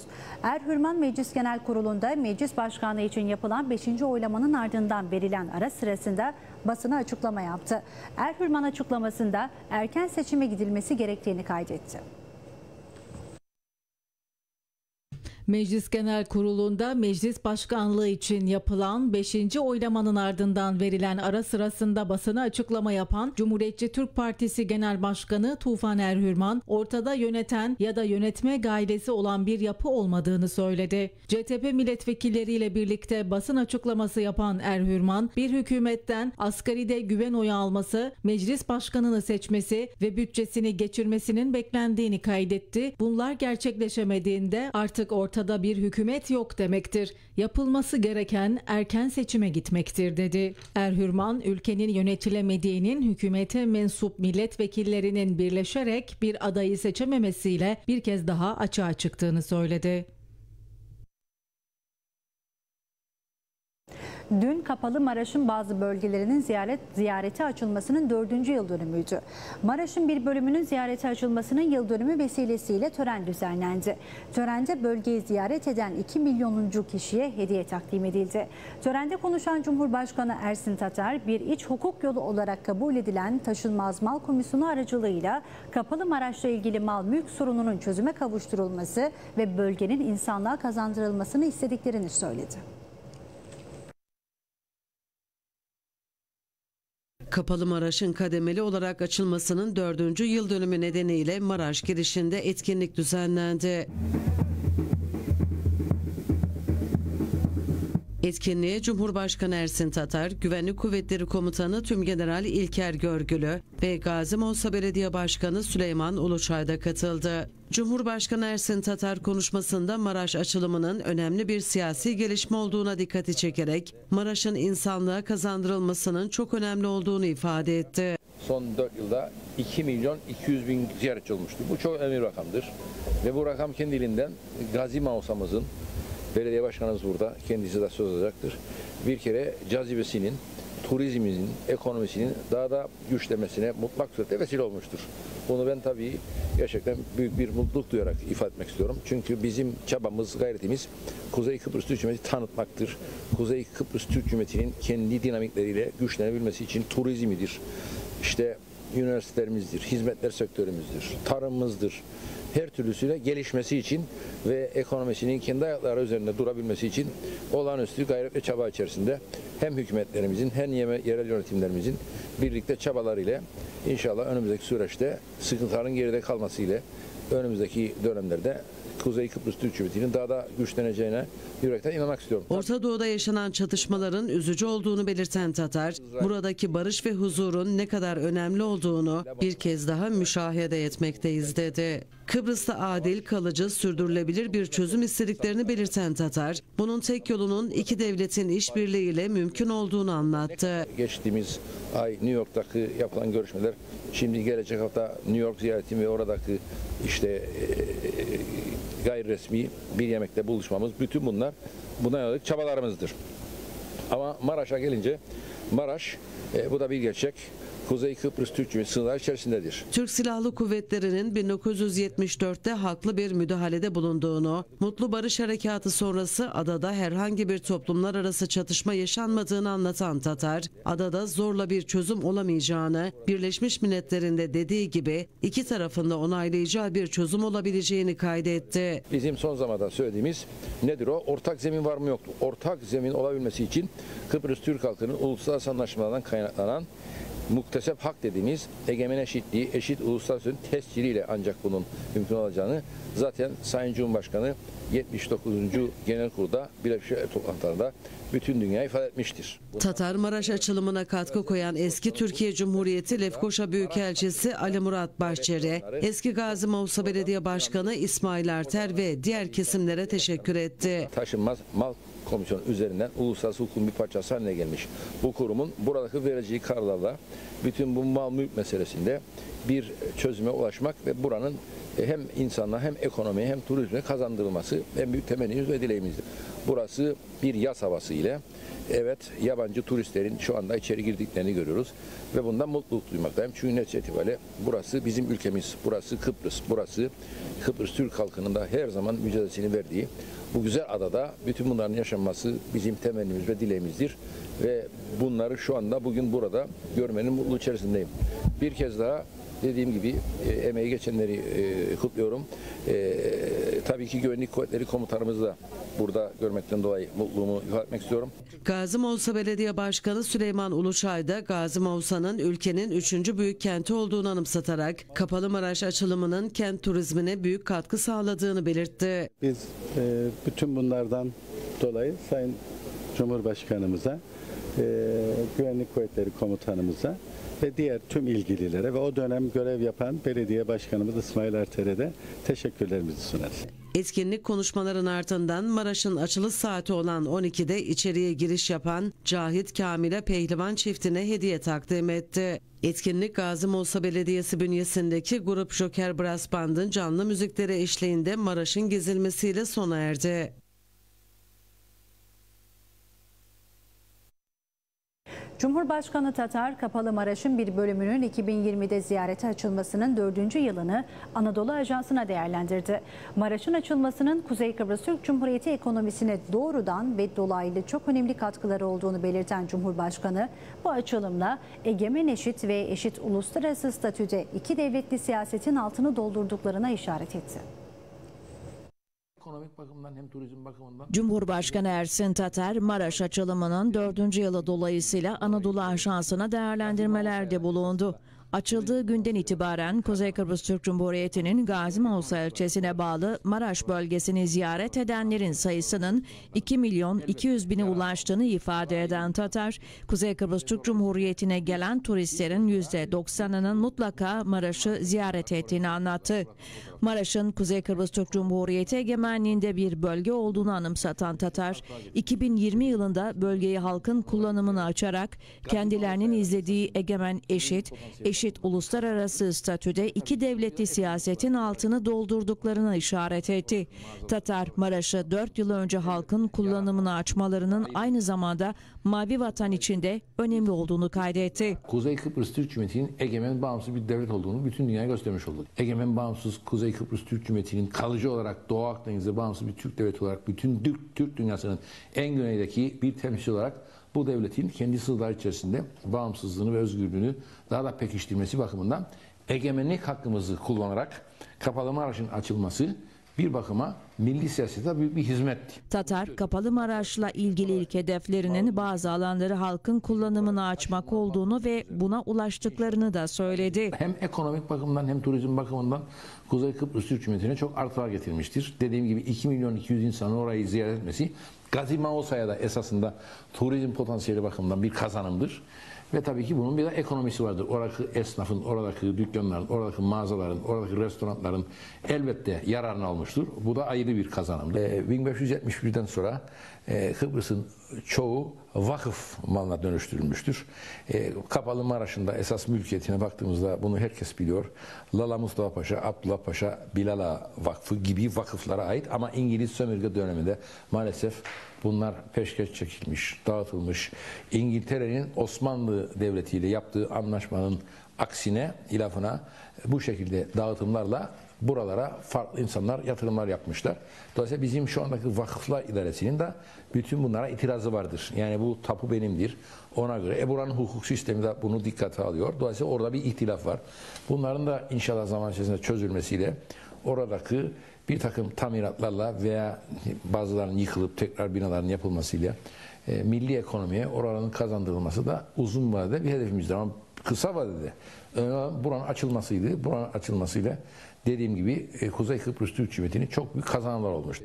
Tatar, Maraş'ın anlam planı referandumu ve Ekran Montana görüşmelerinde masaya geldiğini ve Rumlara iadesinin konuşulduğunu da hatırlatarak Rumların ne federasyon ne de Maraş'ı istediklerini bu nedenle de federasyon temelli müzakerelerin artık geride kaldığını ifade etti.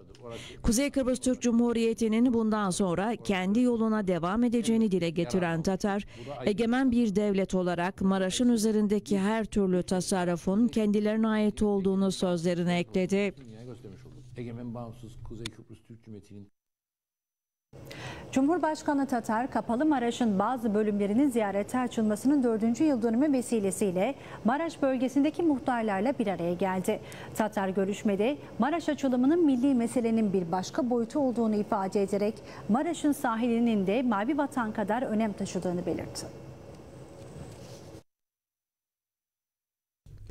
Cumhurbaşkanı Ersin Tatar, Kapalı Maraş'ın bazı bölümlerinin ziyarete açılmasının 4. yıl dönümü vesilesiyle Maraş bölgesindeki muhtarlarla bir araya geldi. Türkiye Cumhuriyeti Cumhurbaşkanı Recep Tayyip Erdoğan'ın Kuzey Kıbrıs Türk Cumhuriyeti Türkiye Cumhuriyeti'nin göz bebeğidir cümlesini hatırlatan Tatar, Kıbrıs sorununun herkes için taşıdığı önemi ve milli değeri vurguladı. Tek yürek olarak bu mücadeleyi sürdürmekten duyduğu mutluluğunu ifade eden Tatar, Kıbrıs Türk halkının refah, huzuru ve barışının bu mücadelede esas olduğunu belirtti.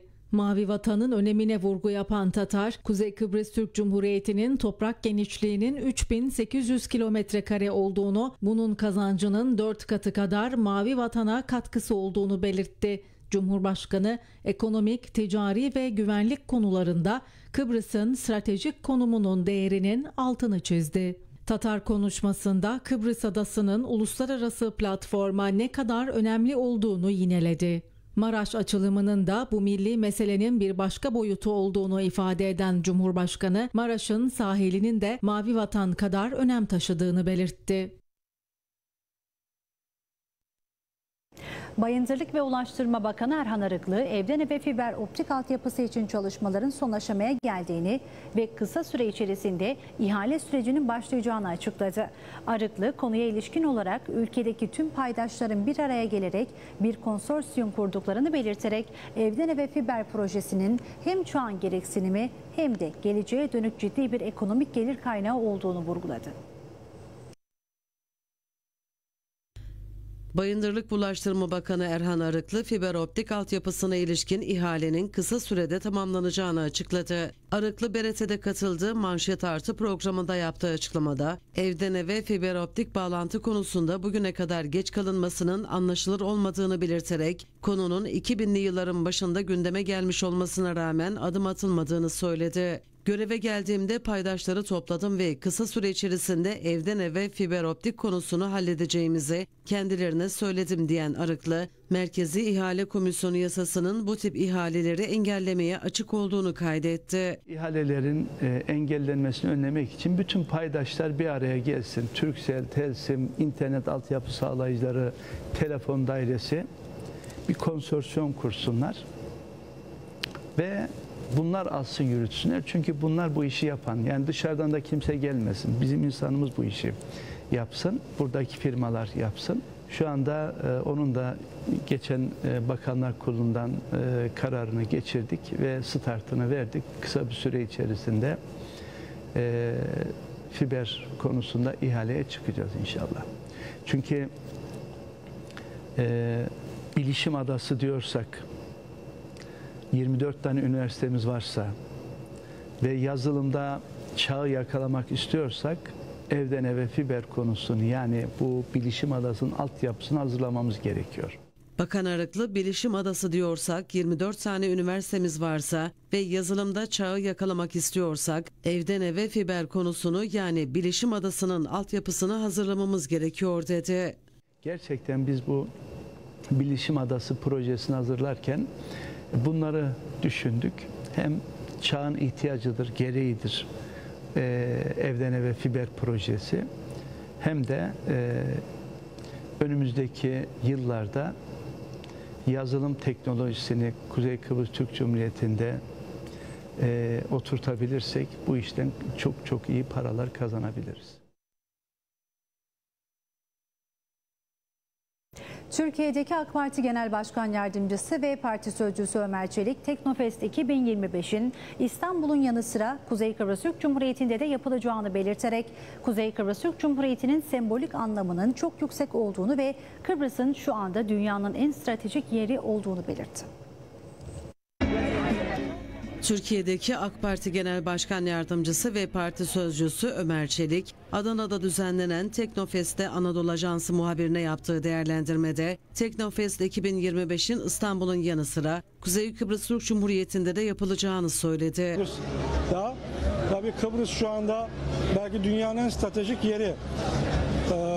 Hem Suriye'deki istikrarsızlık hem İsrail'in soykırım siyaseti o kadar çok savaş gemisi var ki balıkçı kayığı gidecek yer kalmadı Akdeniz'de.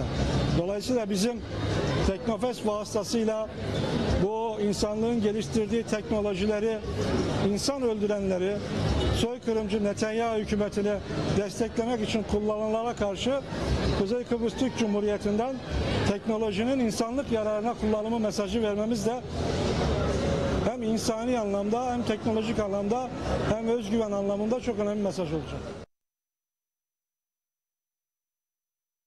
Dış haberle devam ediyoruz. İsrail ordusu soykırım savaşının birinci yılında Gazze'nin kuzeyi, güneyi ve orta kesimine yönelik saldırılarını sürdürdü. İsrail'in Gazze şeridinin birçok noktasına havadan ve karadan düzenlediği saldırılarda 50 Filistinli öldü, onlarca kişi yaralandı. İsrail ordusu Gazze'de sivilleri ve çocukları hedef almaya devam ediyor. İsrail ordusu Gazze'nin orta kesimindeki Deir Belah kentinde yer alan Burayç kampındaki 3 eve ve yerlerinden edilen Filistinlilerin sığındığı çadırlara saldırı düzenledi. Sağlık kaynaklarından alınan bilgiye göre El Furkan Camisi yakınlarındaki çadıra düzenlenen saldırıda 3 Filistinli öldü.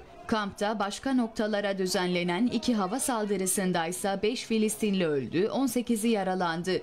Tank ve toplardan açılan ateş sonucunda da ölen ve yaralananlar oldu. Kuzeydeki Gazze kentinden orta kesme göç etmeye çalışan bir Filistinli ise Er Reşit Caddesi'nde İsrail askerlerinin açtığı ateş sonucu karnından ve ayağından yaralandı ve El Avdi Hastanesi'ne kaldırıldı. Öte yandan İsrail'in 7 Ekim'den bu yana Gazze şeridine düzenlediği saldırılarda yaklaşık 17 bini çocuk, 11.378'i kadın olmak üzere 41.909 Filistinli öldü, 97.303 kişi yaralandı.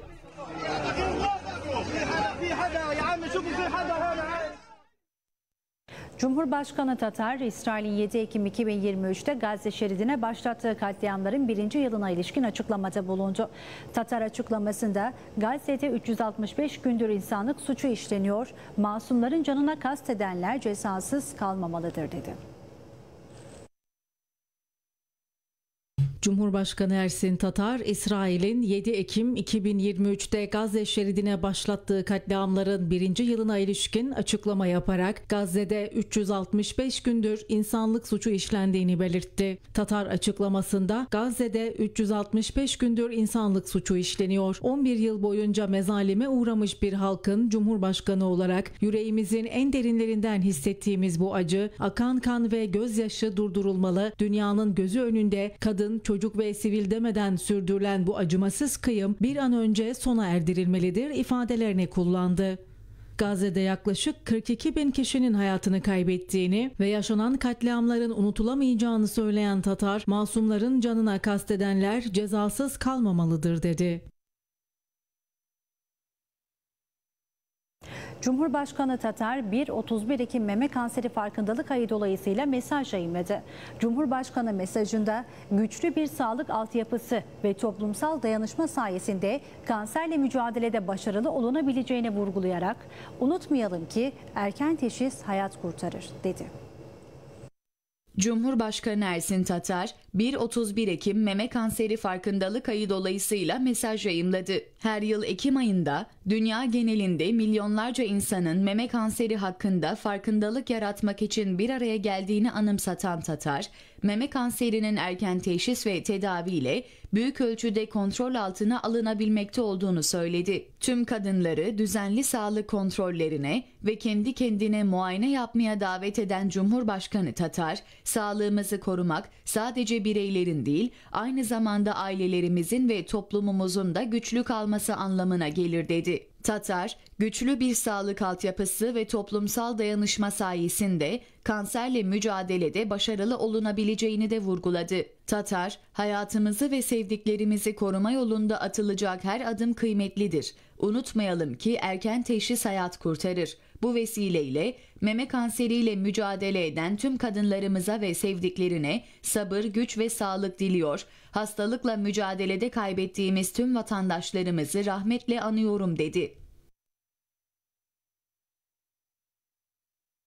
Bu haberle birlikte radyomuz Bayrak'la yürüttüğümüz ortak bağlantımızı noktalayalım ve bölge bağlantısıyla sabah habere devam edelim.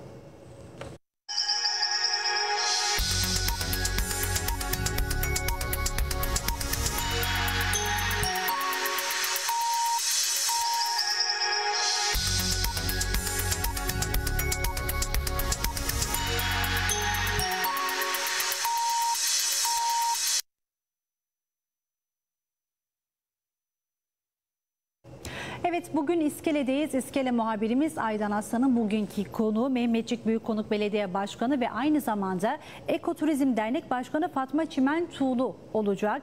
Pazar günü yapılacak olan Eko Gün etkinliğiyle ilgili bilgiler paylaşacak bizlere. Evet günaydınlar diliyoruz Aydan sana. Sözü sana bırakıyoruz. Evet günaydın, iyi yayınlar. Öncelikle yeni yayın dönemimizin tüm mesai arkadaşlarıma ve izleyenlere hayırlı uğurlu olmasını diliyorum. Kameraman arkadaşım Eser Öznak'la birlikte İskele'den Karpaz'a bölgedeki haberleri en tarafsız ve doğru bir şekilde, hızlı bir şekilde aktarmaya devam edeceğiz. İlk canlı yayın konuklarımız, belediye başkanımız ve dernek üyelerimiz Büyük Konuk'ta Eko Gün etkinliğinin 25.si düzenlenecek. Buram buram Kıbrıs Türk kültürü kokan, ülke kokan bir etkinlik. Ee, öncelikle yayınımıza hoş geldiniz. Hoş bulduk. Günaydın diliyorum herkese. Ee, biz Büyük Konuk Eko Günü'nün 25.sini bu pazar e, gerçekleştireceğiz. Yine çok heyecanlıyız.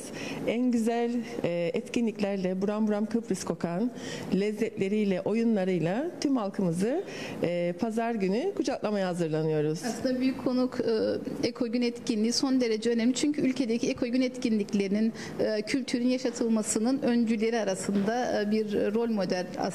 İlk düzenleyenlerdensiniz. Nereden nereye geldi? Ee, Eko Gün ilk olarak 2007 yılında gerçekleşti. Ee, 17 yıldır da devam ediyor. Arada e, düzenlenmediği yıllar oldu ancak benim kendi başkanlık dönemimde Ekoturizm Derneği ile işbirliğiyle birlikte e, tek Eko Gün özelliğini taşıyan günümüzü büyük bir heyecanla, e, büyük bir hevesle tüm halkımıza buram buram Kıbrıs'ı tanıtmak için e, sosyal etkinlikleriyle, eğlencesiyle, oyunlarıyla, lezzetleriyle e, hazırlık içerisindeyiz. Neler var hazırlıkta? Vatandaşlar neler bekliyor? Neden gelmeli Eko Gün etkinliğine? Ee, öncelikle çok güzel bir program hazırladık. Yine yerli ve yerel sanatçılarımızla bölgemizin gençlerine öncelik tanıdık. Konserlerle, Kıbrıs şarkılarıyla o günü dolu dolu geçirecek bir program hazırladık. Onun dışında tüm bayanlarımız, kadınlarımız evlerinde Eko Gün için hazırlıklarını yapıyorlar. Ee, lezzet sokağımız e, buram buram Kıbrıs kokacak. Ee, bizim büyüklerimizden, nenelerimizden gördüğümüz yiyecekler, ekmekler, e, pilavunalar, her türlü yiyecekler olacak. E, çocuklarımıza bizim çocukken oynadığımız oyunlar oynatacağız. Oyun sokağımız olacak. E, ve çok güzel el sanatlarıyla o güne hazırlanıyoruz. Kısaca ülke kültürüne dair her ne varsa Eko Gün etkinliğinde bulabiliriz. Evet kesinlikle öyle. Özellikle çocuklarımız için belli saatlerde bizim çocukken oynadığımız, e, Kıbrıs'ta oynadığımız oyunlarımız olacak. İşte seksek oyunu, e, topacımız, uçurtmamız ve çok güzel etkinlikler planladık bu şekilde. Birazdan tekrardan döneceğim size başkanım müsaade ederseniz. Ee, Şimdi aslında eşiniz ilk başlattığı Eko Gün etkinliğini İsmail Cemal onu da buradan alalım. Eşi Luis Cemal evet. Evet Şimdi 2007. dernek başkanı Luis Cemal. e, Evet. Evet, e, 2007'de başladık. Biraz Covid zamanı e, şey Bırakıldı. yoğurdu bıraktık. Deprem zamanında bıraktık. Evet, evet. Şimdi tekrar başlayacak. Her e, Ekim ayın e, ikinci haftası pazar günü hem Mayıs e, birinci. Günü günü olacak, devam edecek bunu. Ee, biz e, e, çok e, bekleriz insan gelsinler çünkü geçen defa biraz yağmur korkusu var, korkusu vardı ama geçti. E, güzel bir gün oldu, berikat. E, şimdi güzel bir günler var, güzel hareket, güzel tatları, e, aktiviteler çocuklar için. E, iyi bir gün olacak. Şimdi siz festivalin başlangıcından beri bulunuyorsunuz. Çok emek verdiniz. O günden bugüne yani geldiği noktaya hayal edebiliyor muydunuz? Şimdi binlerce insanı ağırlıyor. Evet, biz e, e, mesela 20 stand ile başladık. Hem e, Rauf Denktaş e, bizim misafirdir, önemli bir misafirdi o zaman. E, çok e, güzel oldu. E, her şey bitti. O, 12'ye kadar her şey bitti. Su bile bit, e, bulunmazdı köyde, şişe su. E, şimdi e, alıştı. İki, iki e, 100 lira bir şey insan vardı. 100 kaç stand vardı? 200 yok 100, 100 stand. 100 stand vardı. E, çeşit çeşit. Bizim köylüler köyden hem etrafı köylüler el sanatlar e, gelirler demonstration yaparlar. E, güzel olur. Daha geniş. Çok güzel oldu. Şimdi daha önce de dernek başkanlığı yaptı. Aynı zamanda yönetim kurulu üyeli. Kıymet ablacığım seni de alayım yanıma. Şimdi neden Mayıs'ın e, ilk pazarı ve Ekim'in e, ikinci haftası? Ee, Biz 2007'de bu yola çıktığımız zaman Ekim ayını tercih etmiştik. Hani zeytinlerin olmaya başladığı, köyde bir zeytinyağı hatta o zaman zeytinyağı değirmeni de vardı köyde. Taze taze zeytinyağlar çıksın, değirmende nasıl yapıldığını görsün diye başladık. Aslında büyük bir çok cesaretli değildik. Hatta hanımlar da cesaretli değildi. Ee, çok e, az ürünle katıldık. Çünkü gelecekler gelecek olan var mı? Ee, yaptığımız ürünler e, beğenilecek mi, satılacak mı diye bir endişe vardı.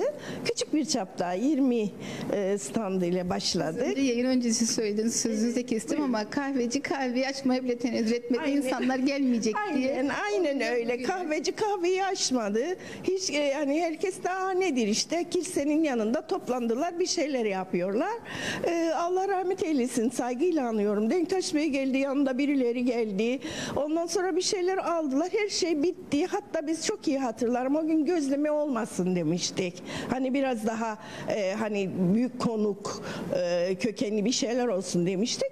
Sonra baktık aslında bizim bir tane Amerikan bize yol göstericimiz, eğitmenimiz vardı. Onun teşviğiyle olmuştu bu. Çünkü biz proje alıp da başlattık e, bu işe. E, bir de baktık birinin elinde gözleme yiyerek, adamın elinde gözleme yiyerek gelir saat 11 hiçbir şey kalmadı. Aman Allah'ım meğer bizim üyelerden bir tanesi evinin önüne başlamış yani dinlemeden böyle. Dedik çok güzel oldu bu Ekim'in ikinci haftasını böyle- tutalım da bir de Mayıs'ın ilk haftasını yapalım. İlk haftasının nedeni de Mayıs'ta olmasının. İkinci hafta zaten anneler günü. Hani anneler gününde başka özel bir gündür o gün. Ee, köyün e, bu şekilde e, olmasını istemedik. Mayıs'ın ilk haftası çünkü kuzucuklar olur, taze süt çıkar, hellim olur, nor olur. Yani köy ürünleri bir de baharı karşılar. Daha bir heyecan olur. Ee, tabiat uyanır o gün. Yani bir başka heyecan olur ve o şekilde başladık. Rastgele seçilmemiş bir tarih aslında. Rastgele seçilmemiş ama biz bunu artık yerleştirmek istedik. Ekim'in ikinci haftası, Mayıs'ın ilk haftası. Ya kar yağsa ki kar yağmıyor. Yine Mayıs'ta bayağı hatta Sayın Başkanım bile bir ara tereddüt etti. Acaba erteleyelim mi Mayıs'ı ertelemeyelim mi aradı beni Cuma günü. Ben de Cuma günü mutfakta e, pilavın içini hazırlarım. Ama başkanım dedim ben hiçbir zaman Mayıs'ta e, büyük konuktan derelerin aktığını görmedim. Yağıyor ama geçiyor yani kalmıyor. Öyle oldu. Öyle oldu. Sabah bir yağmur bir yağmur böyle heyecanla.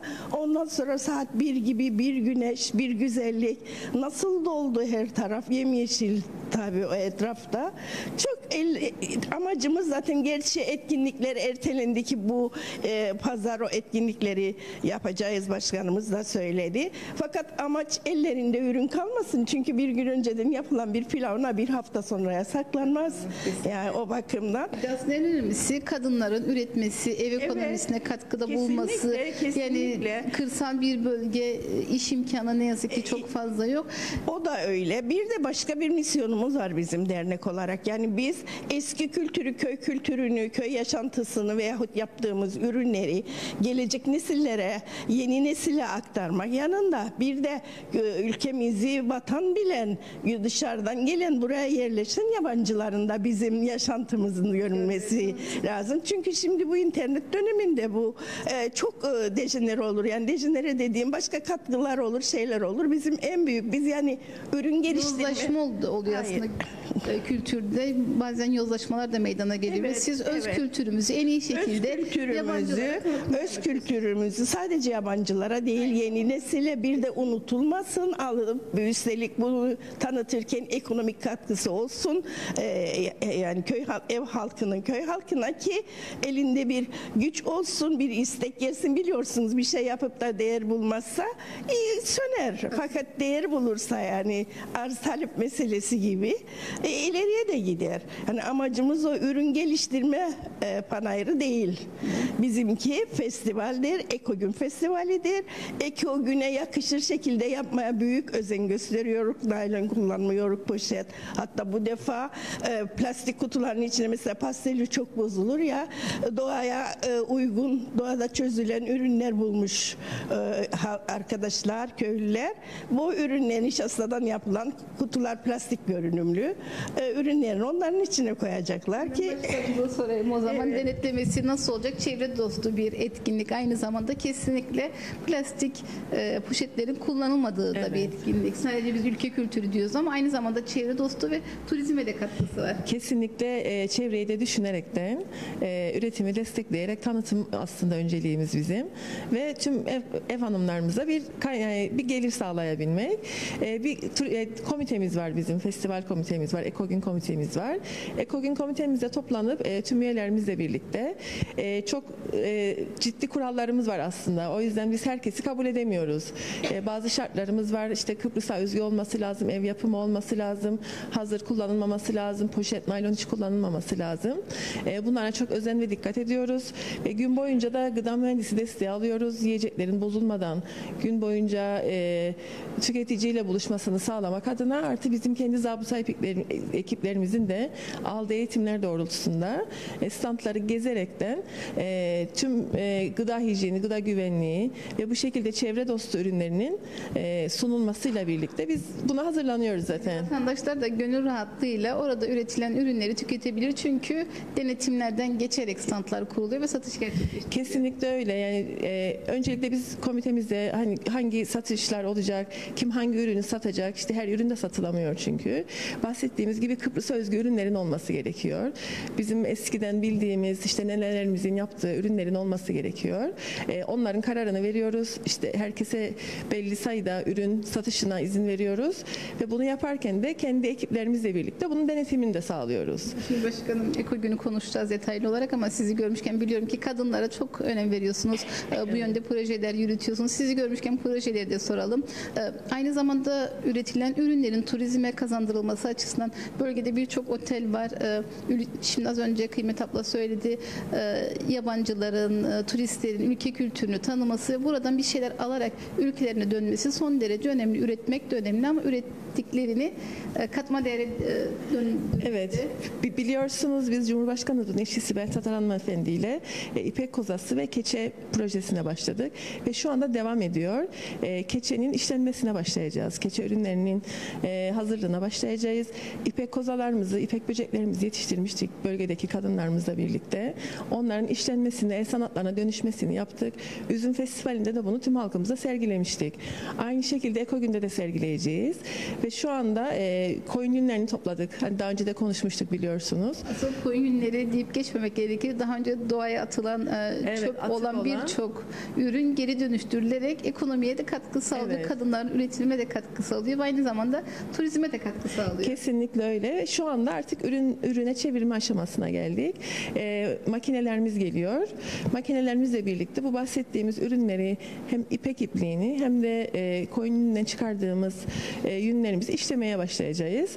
Ve e, hem ülkemizi tanıtan hem atık oluşumunu engelleyen hem de kadınlarımıza bir e, ek gelir sağlayan e, bir üretim haline geçeceğiz. Ve bunu tüm ülkemize gelen yabancı turistlerle de yerli turistlerimize de yerli vatandaşlarımızla da buluşturmaya e, başlayacağız. Özellikle genç geçmiş dönemlerde çarşaflar, nevresimler, kıyafetler, gömlekler e, ipekten, ipek. Evet. E, dokumayla birlikte yapılıyordu. Dokuma tezgahlarımız var. E, onların tamamlanmasını şu anda e, bekledik ve şu anda işte bir usta eşliğinde e, dokuma tezgahlarımız e, aktif hale geliyor, çalışır hale gelecek. Kadınlarımız dokumaya başlayacak. Bölgedeki meraklı olan tüm kadınlarımıza da bizim kapımız açıktır.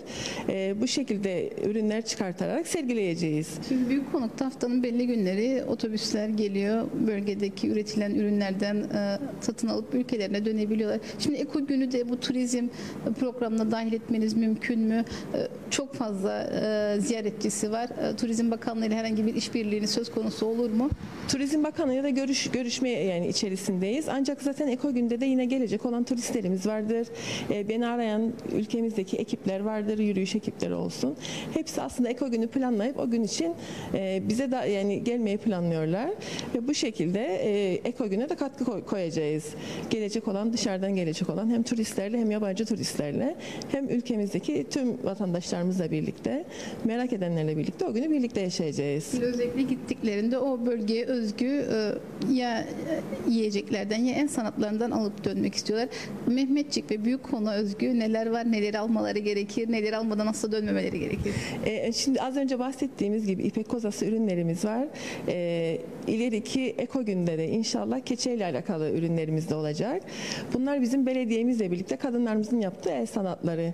Ama onun dışında bölgemize ait olan e, ekmeklerimiz, yiyeceklerimiz, pinavalalarımız, köy ekmeğimiz, e, bu tür ürünlerimiz olacak. El sanatlarımız, paner, paner yapılacak o gün. Merak eden, almak isteyene, işte sele sepeti, e, kalbur o şeyi olacak, e, ahşap oyması olacak. Bu tür ürünleri de orada birebir yaşayacaklar ve istedikleri zaman alabilecekler. Aslında raf ömrü uzun olan ürünlerin de hani e, küçük paketler halinde e, turistlere sunulması da son derece önemli. Özellikle mesela pekmez atıyorum şu an ilk aklıma gelen da Pekmez, zeytinyağı, pastelli, evet e, bu tür ürünlerimiz de o gün herse yapımı olacak, işte palize yapımı olacak. Birebir onlar da e, orada e, tanıtımı da yapılacak aynı zamanda. E, merak edenler nasıl yapıldığını da görmek isteyenler için standlarımız olacak o gün. Aktivite standlarımız. Hazırlıklar kaç gün önce başladı? Şu an vatandaşlar evlerinde neler yapıyor? Yani biz bir, bir buçuk ay önce ilk toplantımızı yaptık. Günümüzü planladık. Ee, o günden itibaren işte başvurular almaya başladık. Artık son haftaya geldik. Ürünler e, yapım aşamasına geldi. Standı alacak olan e, o günkü üreticilerimiz evinde hazırlıklara başladı şu anda. Ve biz de belediye olarak o günü o sokağı e, eko günü doya doya insanların yaşaması için e, kendi kültürümüzle yaşaması için aslında onun hazırlıklarına başladık. Hava durum hakkında bilgi verimiz ve açılış kim tarafından olacak? Son dakikalarımız kaldı. Ee, biz hava durumuna o günde baktığımızda geçen Mayıs ayında da konuştuğumuz gibi yağmurlu bir havaydı ama yine de çok güzel geçmişti. Bugünkü hava yani bu hafta olacak olan hava duruma baktığımda bir sıkıntı görünmüyor. Ee, yani biz orada olacağız ve benim bir eko gün için veya işte bir festival için başarılı olup olmaması aslında ben hep standlarda geziyorum. İşte kadınlarımızla konuşuyorum. Ürünlerini satmışlarsa, standlar boşalmışsa çok başarılı bir festival olduğunu düşünüyorum. Ben eko gün olduğunu düşünüyorum. Geçen son işte Mayıs ayında gerçekleştirdiğimiz yağmura rağmen yine ürünler satıldı ve çok güzel bir festi- e, eko gün oldu. Aynı şekilde bu pazarın da olacağını düşünüyorum. Ee, işte Cumhurbaşkanımız, Başbakanımızı davetlerimizi gönderdik, bakanlarımıza gönderdik. Onlarla birlikte açılışını gerçekleştirip gün boyu devam edecek etkinliklerimize hazırlanıyoruz. Son cümlenizi alalım Sayın Başkanım. Ee, Eko Gün Kıbrıs'ımızın kültürünü yaşayan, Karpazımızın kültürünü yaşayan e, ve biz bunu yaşayarak tanıtmak da istiyoruz. Hem kendi çocuklarımıza hem bilmeyenlere, dışarıdan gelecek olan misafirlerimize o günü doya doya yaşamak adına ben herkesi pazar günü büyük konuk köy meydanında Eko Gün'e davet ediyorum. Sizin de Kıymet ablacığım. Evet, e, son cümlemiz gelsinler. Çakistezler kuruldu, e, makarnalar hazırlandı, e, kurul- kurutulmaya başladı ve tabii o gün taze taze olacak olan e, köy ürünleri pilavından zeytinliğe, bulgur köftesi de o saat kavrulacak. E, ailenizle geçirebileceğiniz çok güzel bir gün olacak. Yani ailenin her bireyi için ayrı ayrı, çocuklar için aktiviteler vardır. Gelin birlikte o günü birlikte heyecanı birlikte yaşayalım. Başka ne söyleyeyim? Hadi büyük konuğa Evet 25. kez düzenlenecek Büyük Konuk Eko Turizm Derneği ve belediye tarafından gerçekleştirilecek olan buram buram Kıbrıs Türk kültürü kokan bir etkinlik. Biz de vatandaşları bu etkinliğe davet ederek sözü yeniden Lefkoşa'ya verelim. Evet Aydan Aslan öncelikle çok teşekkür ediyoruz ve Sabah Haber'in sonuna geldik. Yayınımız öncelikle Fehmi Oktay'la hava durumu ardından spor turu ve manşet artıyla devam edecek. Sizlere iyi seyirler diliyoruz. Yarın sabah saatler 7'yi gösterdiğinde yeniden sizlerle olmak ümidiyle. Hoşça kalın ve sağlıkla kalın.